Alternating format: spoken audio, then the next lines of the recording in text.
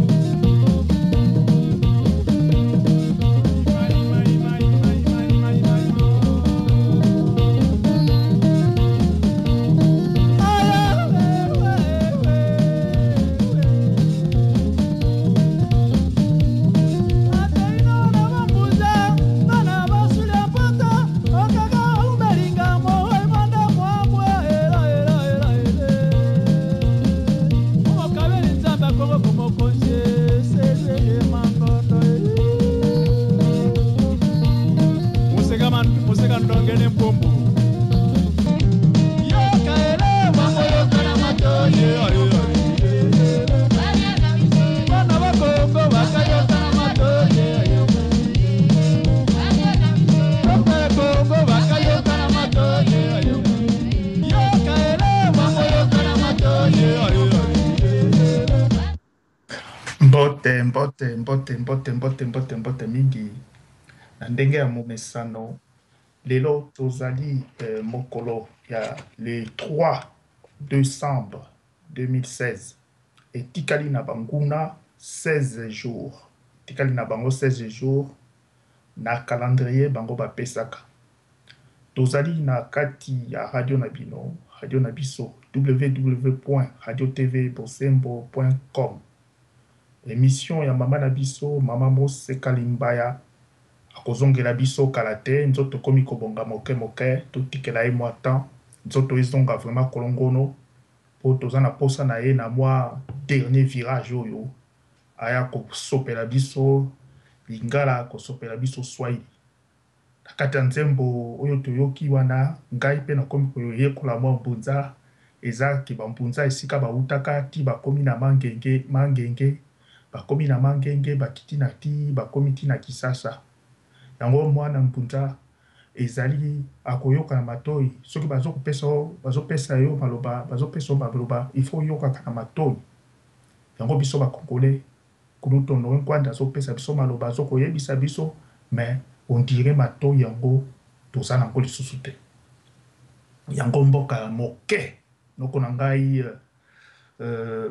commandant lwa lwaboshi alobaka mboka moke 26000 kilometre carre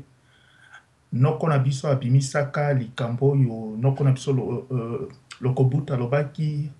une souris meme pas un rat avale Un elephant donc mboka moke wana ekota na congo 90 fois ekota na congo 80 fois mais lelo pona cupidite na biso pona lokoso na biso pona kozanga bolingo ya mboka amour de la patrie pona recherche de richesse individuelle egoiste tala esika tokomi tala esika tokomi tokomi lokola bana etike Ba koteli biso banda 80 euh banda 86 po ba kota na 86 soit disant ba yaki ko landa rebellion ti lelo oyo makambu oyo ya ko ba yaki ko landa bato ba landaka lisusu te ba pikami ba lingi ko kende te soki tolobi to solola makambu ya mboka Bato bakoloba na biso, Bolingi kosangana na bato te, bino ba egoistes, ngai nakobunda sima moto te, nakotaki na bitumba moto abengisaki ngai te, ngai nazali esclave ya moto te. Bozangi moto. Poto mpe ebebisi biso mpo combat tobandaka na 98 Mais internet YouTube ekoti kaka awa na 2005 congolais nioso alingi ba mona elongi na ye congolais nioso alingi akoma moto ya mayele moto nioso akomi na ba analyse tala esika tokomi lelo lelo toza na makambo ebele ya kosolola toza vraiment na makambo ebele mais toko focalise na Euh makambo oyo kulutu Honore Ngwanda atieli biso na na kati ya site ya Apareco. Alobi na biso euh comment ba bana ndeke bazo ko se preparer pona ko batie ba dispositifs na bango pona entre ba demi heure ba une heure po bakosala ndenge nini pona Kinshasa. Eloko ebangisaka bango eza Kinshasa. po ba maitriser Kinshasa wana. Donc toko solola na ba dispositifs ba pesi pe toko pesa makanisi ndenge nini biso ba congolais toko bima na piège wana. Entre temps nazo koyebisa bino Washington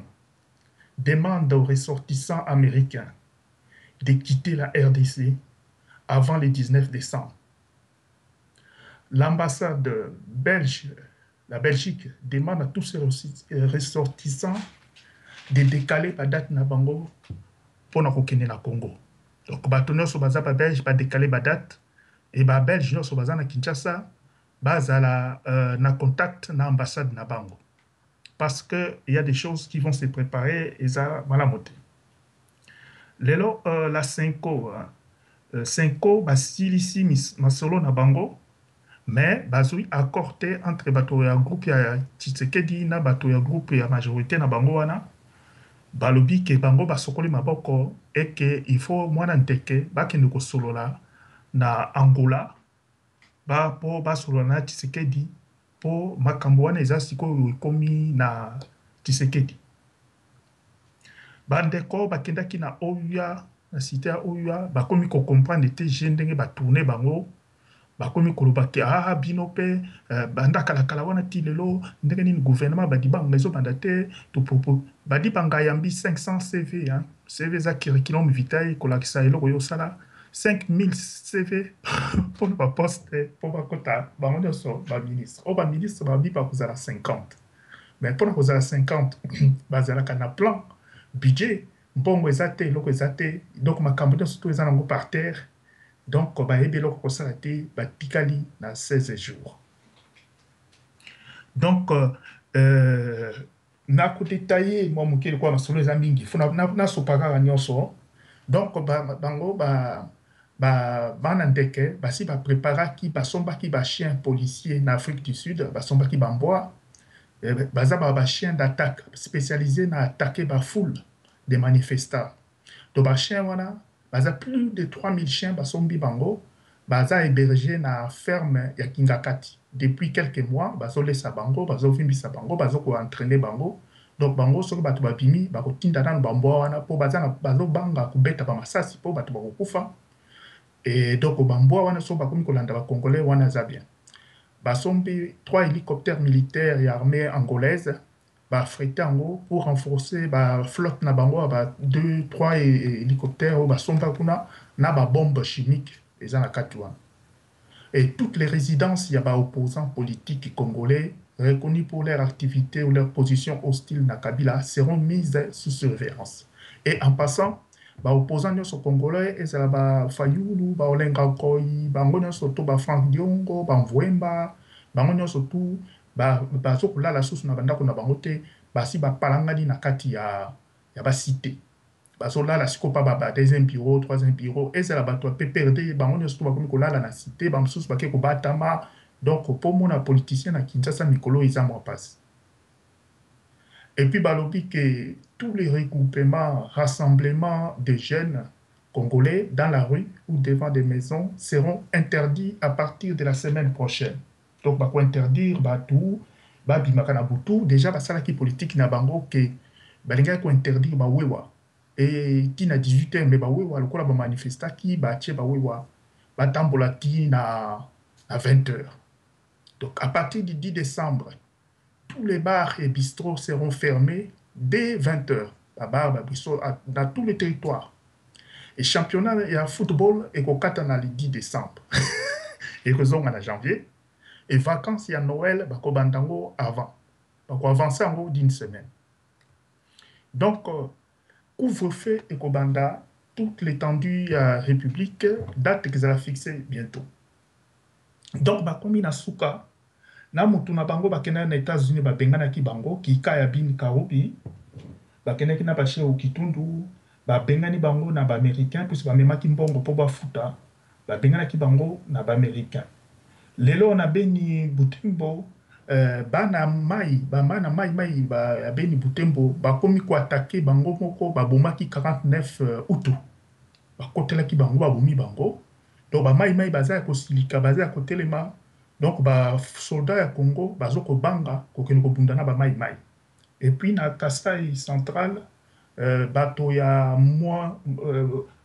ya nsapu nsapu wana bakota zamba bawuti koboma 40 solda ya fardc bango pe kuna na kati ya kasai baza ya kosilika balobi bango faut basilana na kanambe faut basilana na ba raison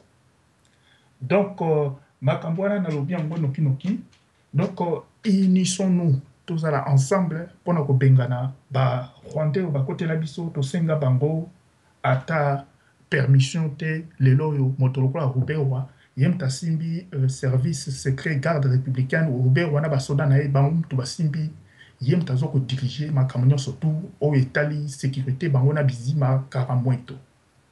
donc to lamuke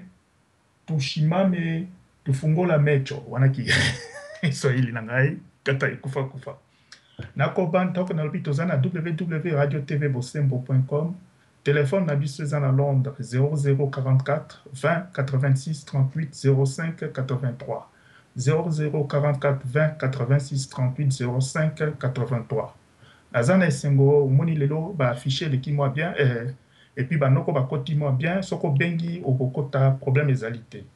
donc eh nako banda d'abord kopesa mbote na maman na biso Moseka nzambe asalisa ye mongongo na ye eya koyokana awa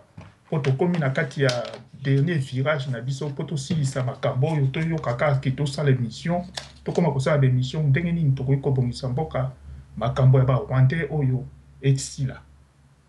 mbote na mama mosika limbaya na famille mobimba mbote mingi na ya na nga salama nzambe asalisa ye famille mobimba mbote mingi na santa na famille mobimba mbote mingi na mama na biso bernadette mokolo Kuna na Afrique du Sud na mama, mama Bena, na mama na biso Antoinette, na mama na biso Jeanne, mbote mingi na noko na biso Jerry na libota mobimba, mbote mingi na noko na biso Docteur Robert Anka, mbote mingi na noko na biso Docteur Dodoni, mbote mingi na prophète na biso Benoni Kimbangu, mbote mingi na noko na ngai President Makengo, mbote mingi na Commandant Waboshi, mbote mingi na noko na biso Lokobut, mbote mingi na noko na biso Fulgence, mikolo toyoki ye te, Fulgence soki ozo landa biso yaka na radio na yo oya kobeta masolo po internet ezongi na Maroc mikolo, mbote mingi na Monga Watata, Monga Opeta, mbote mingi na Shilo Jova, Bertly Maya, mbote na Isabelle Kungulu, mbote Na Jesse Jackson, na Jenny, na Axel, na Ariel, na Dal Washington, na Faith, na Joyce, na Hope, na Chelsea, na Chimène Kiala, na Anne Marie Maluka. Super mbote mbote mbote mbote mbote mingi na kulutu Noe Ngbanda bato nioso baza na posa na yo bato nioso baye na nzela na yo mais congolais soni moto ezo kosala bango bakomi ba kapuepue bakomi ba kapuepue bakokufa na soni bango nioso lelo oyo Suriano awuti koloba Suriano alobi Si Kabila ne quitte pas le pouvoir, le peuple congolais va s'en charger parce que le peuple congolais va faire un soulèvement populaire. Wana motalobi yango Soriano. Et ça vraiment koseka. Soriano alors na biso ba congolais tout ça la soulèvement populaire parce que ce monsieur écoute le langage de la force. Donc euh, Soriano autolo bango Wana nionso tout bayibi ba idee ya kulutu honore ngbanda oyo azo ko s'acharner koyebisa bato bobima soulevement populaire lelo oyo bato nionso bakomi kolanda nzela wana. Mbote mingi kulutu honore ngbanda esika ozali na libota mobimba mbote mingi na mwasi ya kulutu na biso mama lingomba na bana mbote mingi na mama na biso candide okeke mbote mingi na president na biso vice president ndala wa ndala na vice president ebama mbote mingi na ba secretaires generaux nionso mbote mingi ba Bato nioso bazo sala pona apareco na moni ba t-short ya apareco afrique du sud ebimi ba t-short ya apareco ya cap town ya johannesbourg ba t-short nioso ebimi vraiment mosala ezo kende malamu boyaka na radio boya kolobaka ba idee na bino na bandi nanu kopesa maloba na noko na biso luaboshi lokola luaboshi zua maloba. Ya merci merci mingi papa tongo etani kopesa nga maloba mbana mbala ya liboso nalingi napesa mbote papa na biso papa vieux honore ngwanda euh, mes meilleures salutations partout vous y êtes que Dieu vous donne la sante la vie et aussi spécialement à notre maman maman la femme de papa honoré ngwanda wapendwa nali sorry nahitaji kuwasalimia nyote ambao mnatufata katika redio yetu tukufu redio osembo Salamu sana kwa mama Bena, frere ya Jove. Salamu kwa frere Tongo Etani. Salamu kwa ndugu yetu Jeri. Salamu kwa mama yetu dada yetu pia Mose Kalimbaya. Salamu vilevile vile kwa ndugu eh, eh Robert Aka. Salamu kwa prof eh, Benoni Kibangu. Salamu kwa ndugu yetu Fani Nzongo. Salam pia kwa Papa Frejans mon mari, papa alipo pa Maroc. eh, prophète Mfumueto. Salam kwa mon frère Makengo, soyez le bienvenu papa, que Dieu vous garde. Salam kwa vieux Seba à Rotterdam, papa Jacques, papa Jackie, eh, frère Odon Kankeza. Salam kwa, kwa mzee wetu vice-président Ndala wa Ndala, vice-président Ebama, Salamu kwa dada yetu eh, mama Jane kati ya Afrika du Sud, Cape Town. Salamu vilevile kwa ndugu yetu eh, Lokobot akiwa pa Maroke. Salamu kwa dada yetu Antoinette, tunamkaribisha karibu sana kwa kipindi kizuri atatuletea cha Chiluba. Eh, kwa ndugu Lufungula na wengine wengi wengi ambao tukutaja majina, karibuni sana, tunawasalimu wapendwa hapa na kati ya Norvege. Wandugu wote tunawakaribisha na bien. Leo ni siku nzuri ambayo tunakutanana mara tena katika kipindi chenu cha eh, Radio TV Bosembo. Ni ndugu yenu Lwaboshi, mtoto wa Kivu, anahitaji kuwapatia habari kemkem katika lugha ya Kiswahili wale ambao wanaikaa katika maeneo eh, makuu ya Kongo ambapo e, Lingala inakuwa chenga kwao. Vilevile ndio maana tunapenda kuwapatia changamoto pia hata kwa lugha ya taifa ya Kiswahili. Wapenda bila kukawia, tunakuwa na habari mbalimbali ambazo tutakwenda kuwapasha, lakini kwa uchache ni kwamba Kabila na watu wake hivi punde walikimbilia Afrika ya Kusini. Kule Afrika ya Kusini walienda kukodi walikodi maimbwa tele maimbwa tele zile wanaziita ma, machin policier kwa sababu walijua kwamba zile machin zile maimbwa zitafanya kazi badala ya mapolisi. Tutakwenda kuwapatia habari kwa undani zaidi baadaye. Vilevile huyu Mnyarwanda Hippolyte Kanambe amekwenda kukodi mahelikoptere tatu kutoka katika nchi ya Angola kwa nini anaenda kukamata hizo mahelikopteri question mark na waziri mkuu ambayo walite, waliteua hivi punde ya amekwenda kupokea karibuni maombi ya kazi karibuni makirikilum ma vital elfu tano pale ambapo kunahitajika watu wa kutumika naye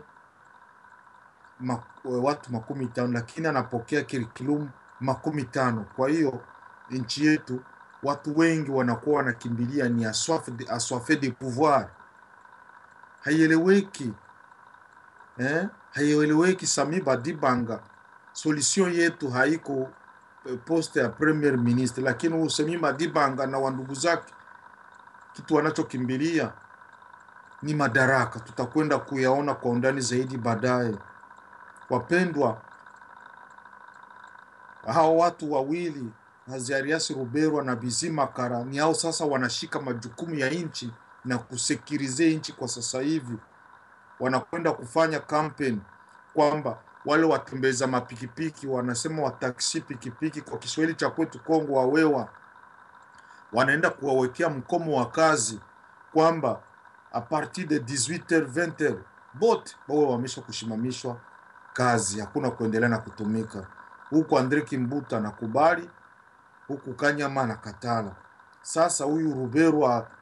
na Bizima Kara ndo wanashika majukumu ya kukontrole sekurite Kinshasa. Kwa ndugu,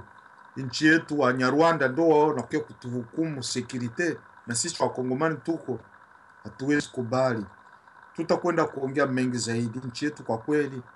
inakwenda kutikiswa nao Wanyarwanda kama vile tulivyowaambia batu biko karibuni elfu makumi mbili milioni kwa, kwa, kwa, kilo, kwa kilometa cha mraba cha nchi yao. Kwa nini wakiwe kunyanyasa zaidi ya milioni hamsini ya Wakongomani? Kwa kweli ni aibu. Wakongomani tulamke, tuwe macho, ni kitu kenye hakiwezekani. Angalia huyu huyu ndugu eh, Kikaya bin Karubi anakimbilia USA kwa niaba ya kwenda kukoromple kule hiyo yote ni njama ya kutafuta madaraka ili wabaki pale. Hatutakubaliana nao, tutawapatia kwa undani zaidi. Pia vile vile tutakuwa na habari, tutakwenda kuongelea. Kuna wandugu zetu wa Mai Mai Mazembe, Mai Mai Mazembe wako kule noru ya Kivu, precisement kule Mabeni, Butembo. Hivi punde walikwenda kufanya ma, ma, eh, maatake kidogo kidogo na wahutu wako kule na waraia. Sasa wanyarwanda wanataka kia kuwatake, kwa hiyo tunakuwa na hali ya usalama si nzuri. Wamaimai wa Mazembe wako wanafanya kazi kule. Sasa majeshi ya Kongo yanaona hawa ni wandugu zetu, wanajaribu kujizuia, lakini mwangalie sasa, kwa nini wale Wanyarwanda wanatoka kwao wanakuja kufanya autodefense? ni vitu vyenye havieleweki. Ndio hiyo Wakongomani tunawakaribisha katika kipindi chetu cha leo, ili mwende kufahamu ambayo yanakwenda kutokea katika mji, na hasa tuwe makini. Hivi leo wandugu zetu, nilikwenda kupanda kupata habari kutoka katika kanda la maziwa ya Kivu, kana kwamba kuna kuna maandalizi ambayo inaandaliwa kwamba tarehe tarehe tano na kuendelea Kabila alitafuta kuleta mauaji Kivu, vurugu, ili ionekane kwamba nchi inakuwa destabilize, ili le 19 Novembre kile ambacho wa, wa raia walitaja kufikia kisifikie. Hayo yote ni changamoto za huyu Mnyarwanda akishindikizwa, akipewa akipewa ratiba kutoka Rwanda, kutoka Uganda, Burundi, kudestabilize, kuleta vurugu katika nchi yetu ya Kongo. Kwa hiyo Wakongomani, hatutakubali kamwe, inabidi tushimame kibete, tuungane mkono. Tukisha kuungana mkono na Mungu atakuwa pamoja nasi. Hakuna kitu ambacho kitashindikana kupitia uwezo wa Mungu, kwa sababu tunatetea haki yetu na Mungu uko pamoja nasi. Mungu alitupenda akatulitia akatutilia na akatuletea kiongozo ambaye atatuongoza kama vile Mungu alipenda wana wa Israeli, shida walikuwa nayo Misri, akamtuma sorry, akamtuma Mosa, Moses Musa kwa kwenda kuongoza wana wa Israeli kuwatoa katika hali ya utumwa Misri na kuwapeleka Kanaani. Vivyo vivyo na sisi, Mungu alitupenda, alitutumia mzee Honore Ngwanda. Ni yeye ambaye atatuongoza, atatusaidia kututoa katika hali hii. Angalia leo leo, kama vile mtu Soriano Soriano alisimama hadharani na kupaza sauti kwamba huyu bwana hivi anakataa kutoka madaraka, solution iko pale, ni soulevement populaire. Muone sasa kwamba watu wanaanza kuona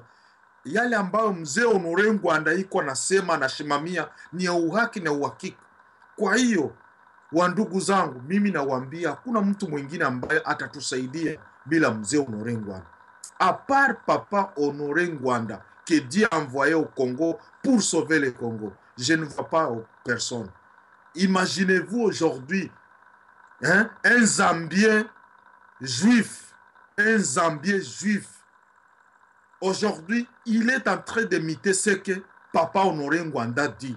Et maintenant, il dit que non, si Kabila ne parvient pas à quitter le pouvoir, il faut faire le soulèvement populaire. Hein? que le peuple vous, euh, peut se prendre en charge par le soulèvement populaire. Voilà maintenant que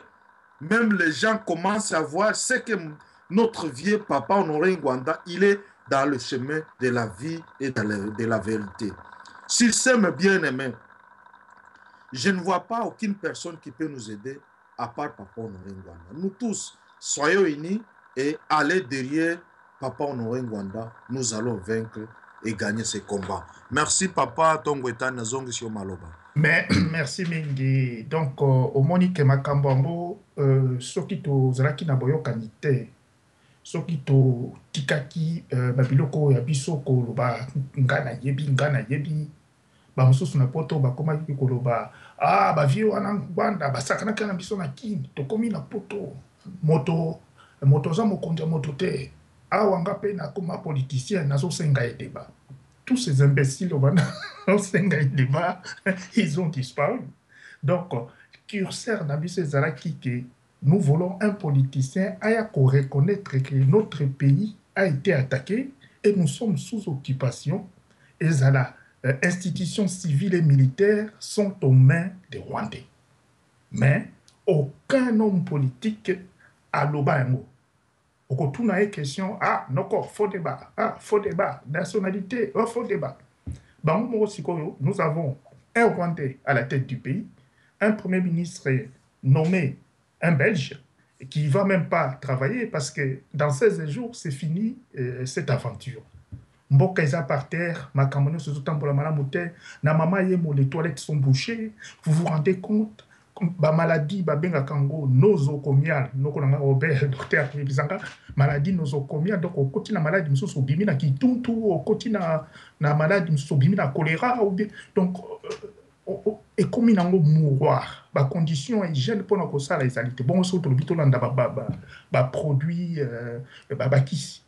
ba date nango ba biloko boye boye donc nous sommes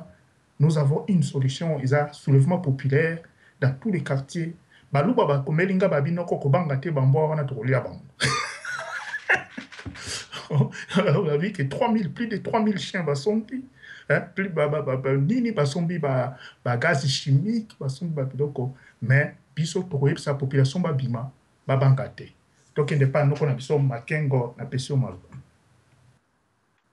Merci mingi na kopesa nga maloba noko tongo etani. Na bomeseni na pesi maman Moseka mbote na sante malamu na ndeko na biso Salama esika ye azali Nzambe asunga ye a reprendre sante na ye. Maman Moseka la dame de fer. Ozwa mbote, mbote mingi. Mbote na yo moko noko tongo etani, mbote na Docteur Anka, mbote na Docteur Be, Benoni, eh, pardon, de, na Docteur eh, oh, donc Akesa, eh, mbote mingi na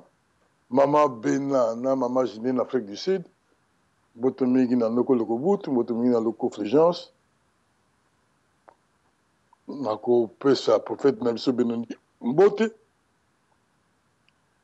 napesi mbote na erik salongo napesi mbote na okito fai pierre double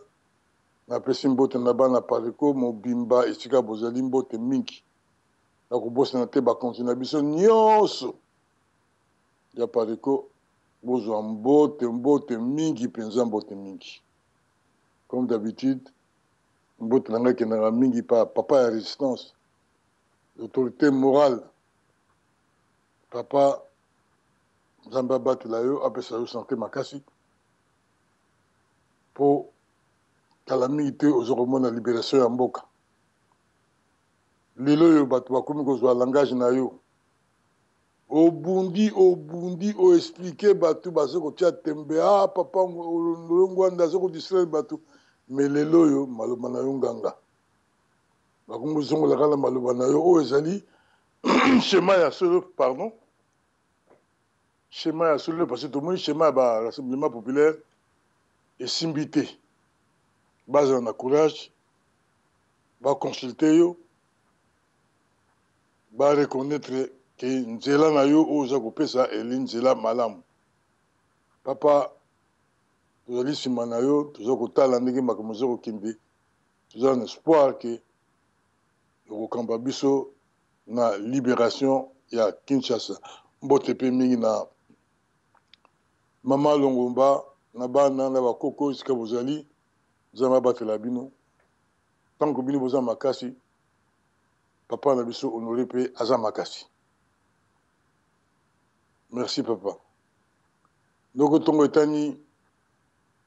na makambo yo olobi eza kopesa pasi na mawa. Pasi na mawa tolekisi lere ebele pona kobengana bapaya wana mboka na biso. congolais ayokaka te toyebisaki bango ke bozela te le 19 boyebi eloko nini rwandais oyo azo ko prepare te rwandais oyo abeti discours soit disant ye moto atie paix na mboka bo ye moto atie paix na mboka tokotunoka presence ya ba militaire ya militaire étranger na kati ya mboka baye kosala nini ba helicoptère ozo somba Trois mille chiens donc po oboma bana mboka donc kibokonzi yango yo ozwaki olingi siko otika te olingi konganzama na mboka ya bato tozali kotala kaka compte à rebours oyo rassemblement alobaki totika bango bakoma na esika oyo bango baza kokanisa mais Ba ndungu ndungu oyo ezo kobima na kati ya mboka eza ko confirmer ba dire ya papa Honore alobaki que baza kolinga ko eliminer la classe politique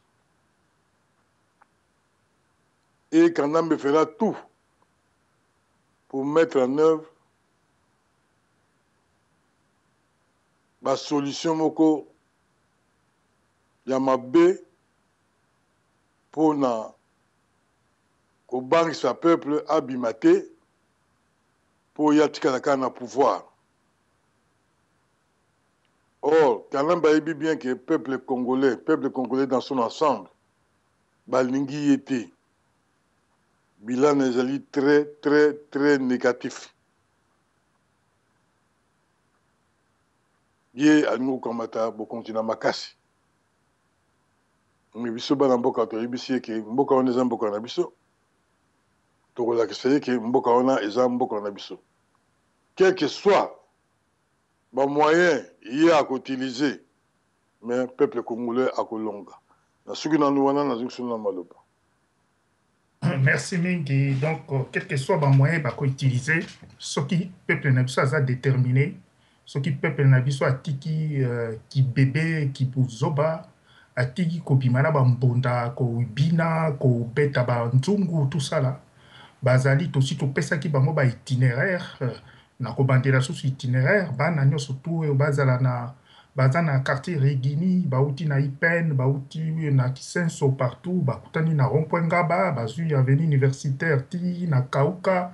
na Kauka babeti makolo ti na Matonge, na Matonge bano bawuti Ngiri Ngiri, bawuti Makala, bawuti Bumbu, bawuti Yolo, bawuti kuna baye kokutana kuna na bano bawutaki Lemba, bawutaki Matete, Kitambo, Tusala. Euh matete ndjili tout ça direction ba mususu ba keyi na euh na rtnc ba mususu ba keyi na na na gombe kuna makambo esili ampleur ya bato ba kobima ba mbwa wana kutu boko kanga bango moto na moto asimbi mwa baton na ye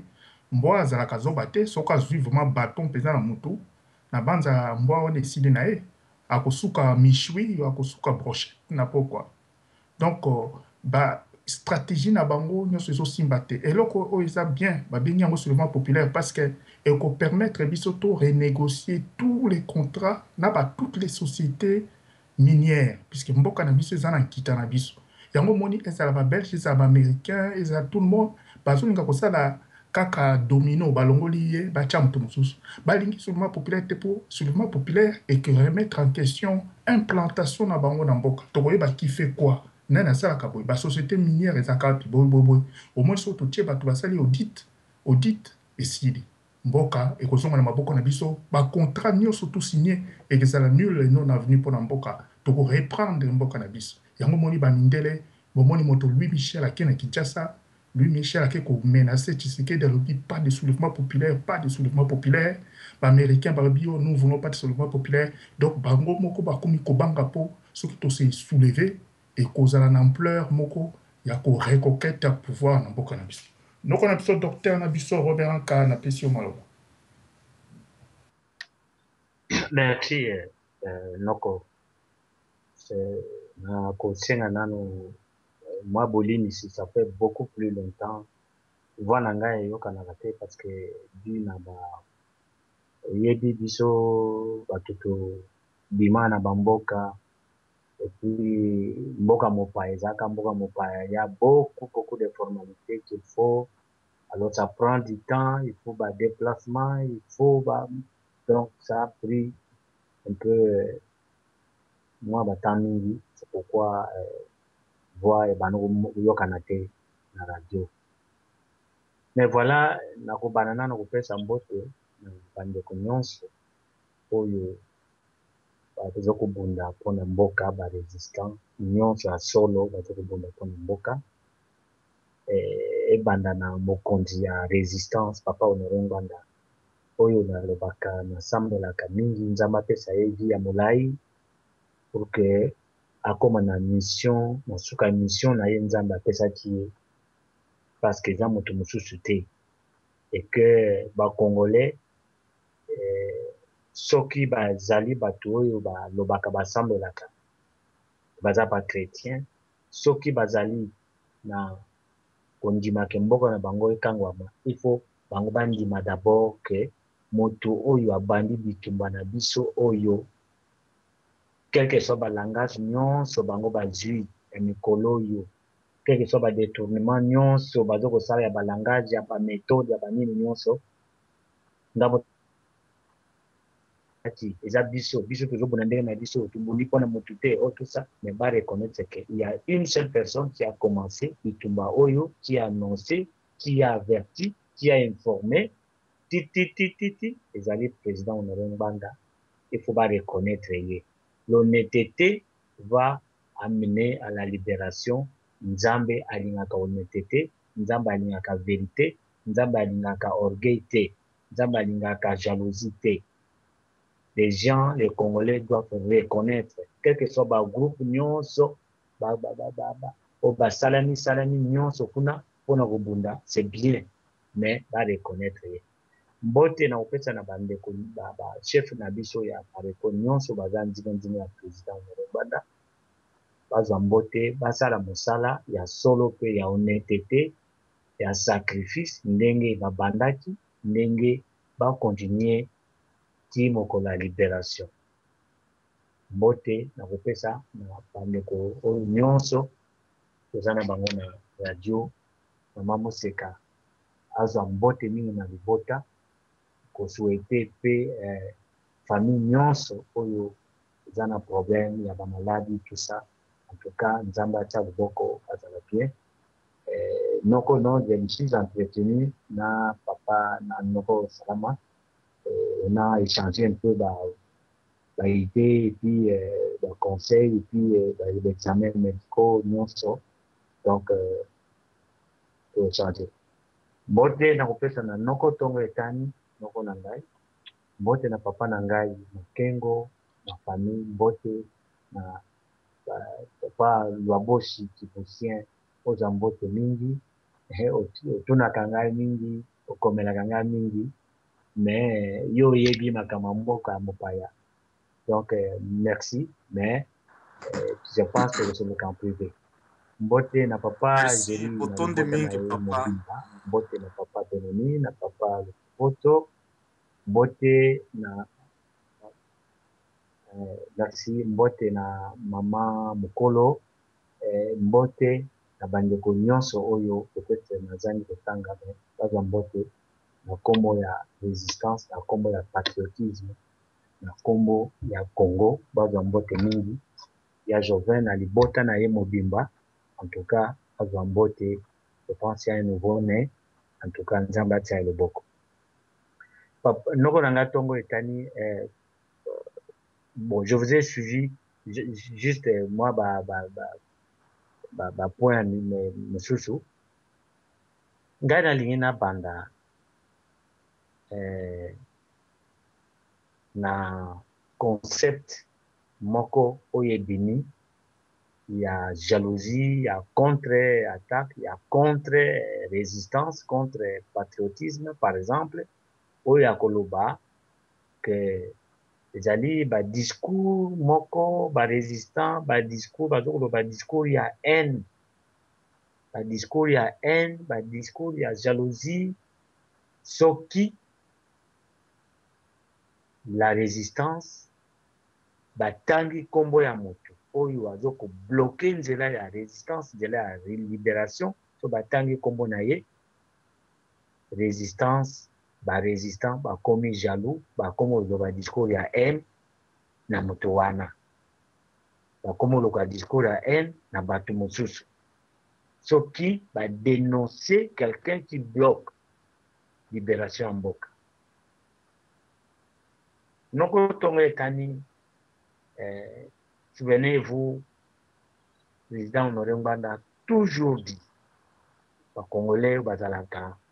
na ma mentalite to to na memoire très très courte soki bitumba oyo ngai nazo ko mener na bino ba resistants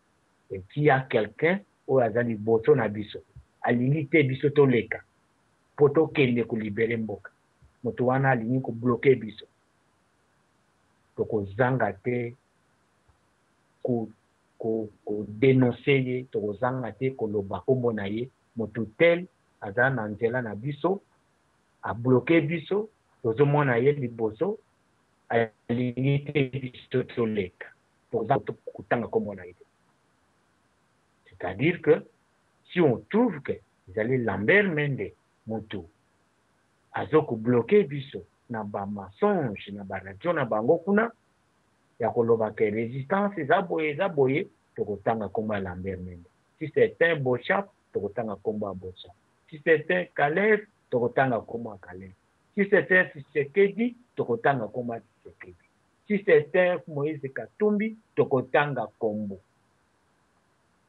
parce que batu oyo toko tanga kombo batu oyo bazo bloque nzela ya liberation et si on denonce quelqu'un oyo asali mabe oyo alingi ba peuple congolais te oyo alingi ko bloque nzela ya resistance oyo alingi ko se prononcer te que biso mboka na biso ezali na occupation azo ko camoufler na democratie, na etat de droit, na ba manifestation, na ba dialogue si biso to denoncer moto ya ndenge wana azala Mokia, azala Fayulu, azala Olenga Nkoto, azala nani. Ezali discours ya haine te. Les congolais doivent bazala mature na makambo mosusu ou alors bango nde bato baza jaloux na resistance. Ba bengaka discours ya resistance discours ya haine et surtout ba taxaka president ya resistance ye asalaka discours ya haine. Noko tongo etani je vous donne l'exemple. Discours ya haine balobaka soki to denoncer kombo ya moto Tshisekedi azwi mbongo alingaka azwa peuple congolais en otage alingi te peuple a se libere Totanga kombo na ye te parce que eza discours ya haine. Katumbi en connivence avec Kanambe bateki ba uranium, babomi Baratumba Mwake, babomi ba Muze, bayibi mbongo, ba detruire ba mines, totanga kombo na ye te, eza discours ya haine. Katumbi a une femme ya Tutsi oyo akozala selon batu oyo balingi ko supporter ye azala première dame ya Congo encore. Katumbi mwasi na ye tutsi azala première dame ya Congo to mona elongi ya tutsi encore et les congolais acceptent ça to tanga kombo na ye te eza discours ya haine aujourd'hui union europeenne ce parle noko otindeli nga na moni ba tangi ba koma ba kalev mouton ba numbi ba nani wana tango union europeenne tango ba tangi ba kombo ya batu wana que Batu wana bako zala poursuivi po bango ba bloque democratie po bango ba bloque quoi quoi quoi comme ça c'est à dire que union europeenne azo ko sala discours ya haine soki etats unis onu ake ko pesa rapport na etats unis kanambe il faut akende soki te ako silisa ba congolais nionso parce que azo boma c'est à dire que ba americain wana ba ba ba ba tangi ba sali discours ya haine tala niveau Tala niveau ya maturite, tala niveau ya mentalite, tala niveau ya raisonnement ya ba congolais. Si quelqu'un, si on denonce mutu oyo alingi a bloquer nzela ya ba congolais bazua liberte na bango, bazo koloba mutu, bino bozo koloba discours ya haine. Asali nini? Honore Ngbanda na Tshisekedi oyo asali nini? Alingaka Kisekedi te, alingaka Kisekedi te, nani alobi? Soki Tshisekedi se comporte lokola koyibaka mbonga batu, mbonga ba congolais, kolingaka ba congolais te, batanga kombo na ye te. Soki Katumbi ateki ba uranium oyo ya koboma oyo bango bazo, batanga kombo na ye te. Soki Kanambe abomi batu, batanga ba kombo na bango te. Eza discours ya haine te. Les congolais doivent savoir, il faut bazala na maturite, il faut bazala lokola ba senegalais, ba ivoiriens, ba nanu batu mosusu oyo bazali ba tanga kombo ya occupation et quelqu'un qui bloque l'occupation nde mutu wana ba ko denoncer ye eza discours ya haine te meme ceux qui ont quitte l'Apareco meme ceux qui sont en dehors de l'Apareco mosala na bango eza kaka discours ya haine tout ça ba zali 50 pour 100 congolais 50 pour 100 etrangers ba zali 100 pour 100 etrangers sikoyo balingi kobombana batala ndenge nini parce que soki batu oyo soki resistance azui pouvoir esili pona biso ba etranger yango wana nde bazo koloba makambo wana na ba television na ba youtube na bango noko tongo etani deuxième point olobi makambo oyo ezo koleka na congo nga nayoki bino bolobi makambo ya ba mbwa 3000 je sais pas ba mbwa 3000 wana eza na congo eza ndenge nini nayebi te nayoki kaka ba mbwa 3000 wana bolobi ezali ndenge nini na ba mbwa wana 3000 wana bolobi nayebi nanu te soki boko explique nga boko yebisa ngai eh, ba- 3000 mbwa yango eza nini ba ewiti wapi nani aza nango en tout cas nayoki kaka ndenge bozoloba nayebi nayebi te bon Question na ngai nazo tuna papa Makengo, noko na ngai tongo etani papa Lwaboshi. Le problème est que ba congolais baza na bain, baza na na animation, baza na na fièvre ya soulèvement populaire. Il faut esalema, il faut mboka e se liberer. Nazo tuna question Cenco oyo bozo ko benga cenco ya ba ya ba sango wana il semble bazo sala ba negociation entre ba majorite na opposition negociation bazo sala ya nini ya dialogue ya kanambe avanda ya ya ya kanambe akende ezali negoiation negociation ya nini lisusu na deux semaine oyo etikali. soki totangi kombo ya mandat na ye parce que le mandat là aussi oyo ya ba le 19 wana ezali pona ba combattants na ba opposants mais pona biso ba resistants biso toza na occupation et occupation liberation ya Congo ekoki kozala le 19 wana tout comme ekoki kozala avant le 19 tout comme ekoki kozala après le 19 wana soki kanambe a s'eterniser et puis na batu na ye ba rwandais soki bazali kaka donc l'occupation ezali kaka soki ba katumbi oyo akoya na premier dame ya tutsi soki azali occupation ezali kaka donc resistance ekozala kaka biso tozali na date te mais si bon nayoki ndenge bolobi si les gens bazo koloba les date date ya le 19 bon en rapport na constitution charte na bango wana oyo ya occupation wana soki yango nde bazo kosalela alors soki eza ladies main mais qu'est ce que cenco wana azo kosala lisusu na deux semaines etikali cenco wana alingi asala nini dialogue ou bien negociation ou bien nini na na na majorite na opposition alingi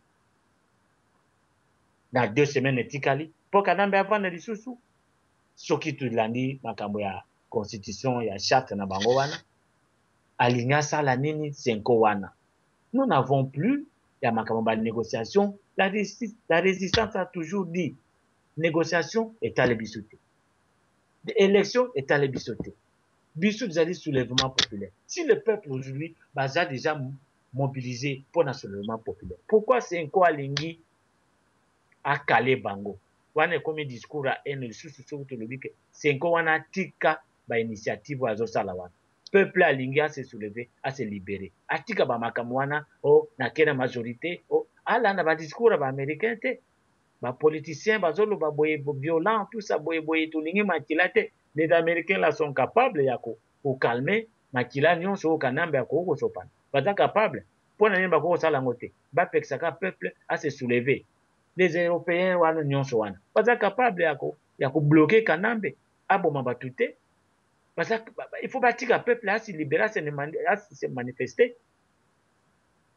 Bakoki ko ko bloquer peuple te? Baloba que non peuple a se soulever te? Eeh tolingi makila etangama te mais ils sont capables ya ko bloquer makila wana? Non. Cenco atika ba makambo ba initiative na ye wana je ne sais pas dans deux semaines ou nini azo ko linga po peuple a se soulever te? Dialogue moko ebima awa na deux semaines awa? Negociation moko ebima, solution moko ebima awa na deux semaines awa? Et elle a bloque population a se soulever te? Tolingi biloko wana te. biso toza na date te biso tozo kokende noko explique ngai makambo ya ba mbwa wana nazo zela o yebisa nga qu'est ce que ça signifie ba mbwa wana yebisa ngai. Ok merci mingi mais nayoki pe mua motuna na yo mosusu olobaki liboso olobi ke c'est bien la communaute europeenne pe bango baye babimisi pe ba liste ba kombo na bango wana mais comme par hasard le fauteur de trouble bazo tanga bango te tu comprends ça? Mutu azo pesa ba loi Bisengimana oyo aza mokonzi ya police bazo tanga ye te parce que moto oyo ba bengi ye na kombo ya esprit de mort azwaka ba loi na ye esika ya Bisengimana moto aza chef ya police ba tangi ye te moto oyo azo tinda bango mwana ndeke ba tangi ye te. Ozo mona te que ba tangeli biso John Numbi, ba tangeli biso Boshab, ba tangeli biso Esprit de mort, kaka bato oyo ba tangelaka biso? Donc ozo ko mona te que bazo ko sala makambu moko contre peuple? Oyo wana ezali plusieurs chiens milliers trois milliers plusieurs chiens milliers de chiens policiers dressé en Afrique du Sud et spécialisé à attaquer la foule, Bangonde Moto, euh, la foule des manifestants, sont hébergés dans la ferme de Kingakati. depuis quelques mois envie de faire face à la revolte populaire donc ba sombi ba mbwa wana ba atterrissaki bango na Afrique du Sud pona makambu ya revolte populaire donc puisque bazo ko banga ko utiliser ba minduki po ekosala ba degats ndenge sikoyo soki batu ba bimi neti ba bimi na place victoire wana na Matonge batu ba tondi wana ou bien kuna na Pascal ou bien kuna na Masina ou bien kuna na na sima kuna Bazala na facilite kobimisa ba ba mbwa wana po bakimisa ba congolais kaka mbangu quoi. Donc ekezala moins ba degats pona kopanza ba foules que babeta masasi. Donc ozomona pe bango pe bazo kobanga. Donc yango omoni likambo oyo basombeli ba mbwa wana c'est juste pour disperser ba foules des gens eh, na ndenge bakoya wana basimbi simbi bango en laisse aller, ba lacher lacher bango aller, balandi bato aller, bato bapalangani tout ça comme ça quoi. tozo mona eza kaka esprit ya ko dissuader population que baya te na manifestation puisque soki balobi babeta ba mandoki meme kobeta masasi en l'air de fois ebetamaka malamu te ekoya kozua bato et puis bakoya koloba na bango oui vous avez tue les gens tout ça donc bango pe bakomi na ba strategie ya suka ils sont presque à la fin bakomi les dos au mur ba yango omoni bakomi ko utiliser n'importe quelle strategie mais à condition obimisa makila te yango omoni Oui, euh, esprit merci. wana Mm. Eh, Merci, eh, na- na- donc baza Yes. nango na Ah. na ba hélicoptère wana ebona opakela bango ba mai ya moto ou bien kopakela bango ba ba gaz ba biloko ya ndenge wana Donc et puis ba kotia mwa ba soda ba beta ba ba tir en l'air mais comme baza na po soda meme soki obeta tir en l'air soki population amoni que ozo beta tir en l'air ba koya sikoyo ko s'approcher na yo omona soda na reflexe ako banga okoki ko beta mutu masasi en face yango omoni donc bango pe bazo ko luka bazo ko luka nzela ya ko kima mais to yeba que batu wana ba yaki na mandoki ba ko bima na soulevement populaire donc ba ko bima na violence. Eza te que oyo ya papa Tshisekedi azo sala na oyo Cenco c'est toujours la distraction et l'hypocrisie. Parce que Cenco balobaka na biso que tango ba elections esalamaka ba zalaki na ba copies ya ba soki ba procès verbaux nionso tout wana balobaki ba zalaka na ba copies na yango nionso tout partout. Mais ti lelo oyo elobamaka te. Mwana ndeke akendaki ko kutana na pape kuna. Est ce que akendaki kofuta mbongo na pape te? yango omoni ke est ce que eh, bango ba eglise wana ya senko wana bayebi makambo ezoleka na mboka te ke le, le pouvoir eza na maboko ya, ya ba rwandais pourquoi aucun aucun moto ya eglise alobi te ke aloba verite donc eglise bapekisaka verite Soit disant eglise eza au milieu du village bayebi ke mboka na biso tout les generaux oyo baza na kivu kuna ce sont des rwandais partout bawuti koboma ma soeur na kuna na beni babomi une soeur qui sortait de l'eglise babomi ye eza na esali scandale awa parce que les rwandais babomaka ba religieuse babomi une soeur religieuse mais na kinshasa balobi yango te. Balobi kaka euh la congregation boye, ngai naza na television na bango rtnc est en deuil suite au bazo benga bango ba terroristes ozo mona donc bato ba mayi mayi bakomi ko se defendre bango moko ba se prendre en charge kuna na Kivu bakomi koloba oh ezali guerre entre les les nande et la communaute hutu. les hutu congolais ozo mona nde bazo kotisa biso na mutu hutu congolais hutu congolais n'existe pas et bongo sikoyo kuna na mboka na na, na kasai bato ba adepte ya ya mwimpu ya nsapu bakomi kobunda na basoda bango bazoloba oh ce sont des, des terroristes bango nde bazo ko inciter bato ozo mona te bazo changer ba semantique ko changer nionso donc tokomi vraiment na Noko wana nionso merci pardon na kati yo mua maloba. Loba loba continue zwa maloba. Wana nionso wana bon ezali ba echappatoire na lingi na revenir na na likambo oyo olobi ya cenco et puis likambo ba mbwa wana omoni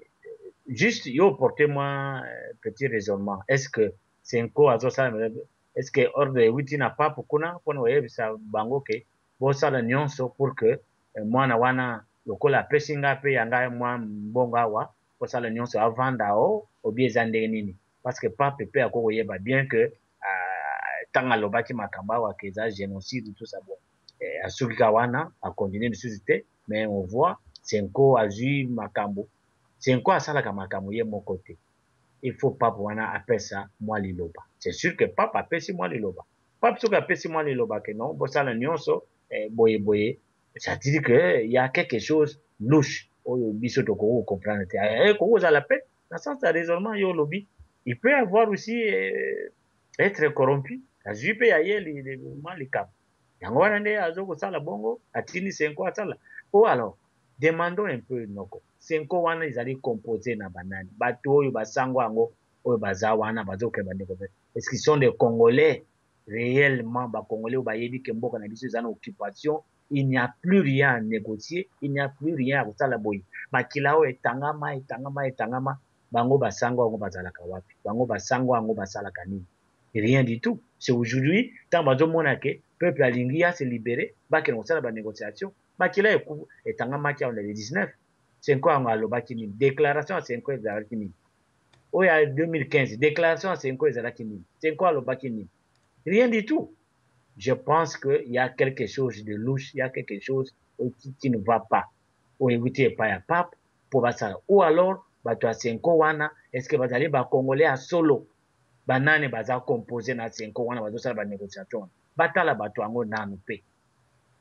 Et peut-etre ce sont les 50, 50% oyo, oyo ba infiltres na biso ya kala, oyo bazwa ba kombo ya ba, ba, ba, ba, ya ba mafuta, ya ba nani, tout ça, ekoki kozala. Nous Nakati avons yo te, beaucoup eh, besoin nakati de... ye te, eh, nakati yo te noko na nga, oyebi ke balobi ba episcopat ya ba eglise nioso tout ya Kivu eza infiltre, ba sango nioso tout kuna baza ba rwandais. Puisque Mais ba c'est ça, sango ba congolais ba boma boma bango nioso. Soko ba mais c'est bandaka ça. dejà koboma ba sango puisque sango Oyo nionso bazali baza ba rwandais kuna na eglise catholique ya kivu ba responsable nionso na uvira, rutshuru, na beni, lubero partout là bas ce sont des rwandais donc et puis baza na influence na kinshasa quoi donc c'est possible. ba rwandais si si il ya une composition qui demande que chaque sango moko na province moko ou bien na district moko il faut aya azala membre ya cenco oyo ekokende negociation ba nani bakoya ba rwandais batu bakoya Ah bon tala sikoyo tango rwandais akoya akozala na but nini? Ya kovanda ya koboma ba ndeko na biso oyo ndenge azo koboma bango kuna na kivu? Alors cenco yango eza compose na nani? Baza ba etrangers baza ba congolais baza ba nani oyo bayebi que dans quelques jours oyo makambo oyo bana bazo kokufa bazo ko violer ba maman kuna na kivu azo mona pasi ba deplacer ba boma ba bengana ba ndeko na biso cenco yango azo kosala negociation ya nini sikoyo distraction ou alingi nini? Biso toza na besoin ya cenco wana te, soit pape azui mbongo apesi ordre, soit ba cenco wana bazali pe totala bango bien baza ba nani, ndenge yo olobi ekoki kozala ba rwandais wana pe bakota bazua ba kombo ya ba congolais, alors biso tosala cenco, cenco yango azosala negociation entre majoritaire na tshisekedi. Thisekedi yango alingi nini thisekedi yango na temps oyo a decevoir ransemblement na ye kutu aye kondima ba sami wana baye kobima ba prime ministre ransemblement yango akoki ko raisonne te akoki komona te ke mutu oyo pe a driblaka batu bayebi te kisekedi a driblaka batu depuis longtemps negociation nini lisusu oyo ezala entre majorite oyo tosa toboya makila etanga te combien makila etanga oyo ezo kufa kuna na kivu na beni kuna eza makila te Makila ezali kaka oyo ya koboya mikolo oyo? Non soki makila etangami mais au moins pour la liberation mais eza pona pamba te ndenge ezalaka na ba manifestation ya Tshisekedi non soki na ye na mbwa ba makambo ba mbwa na oyo oyebisi nga mamba papa noko tongo ekangi souvenez vous eh, moi petite histoire ba mbwa basomi na Afrique du Sud tozalaka totangaka na ba troisième quatrième cinquième primaire comme ça apartheid apartheid jusque maintenant ça existe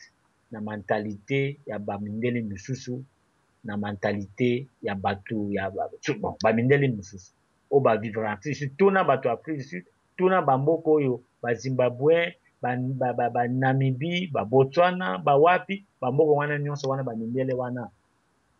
oyo ba panzana ba vanda vanda kuna il ya la facture na esprit na bango ti lelo oyo soki ba moni ba tongi mwa location camp na bango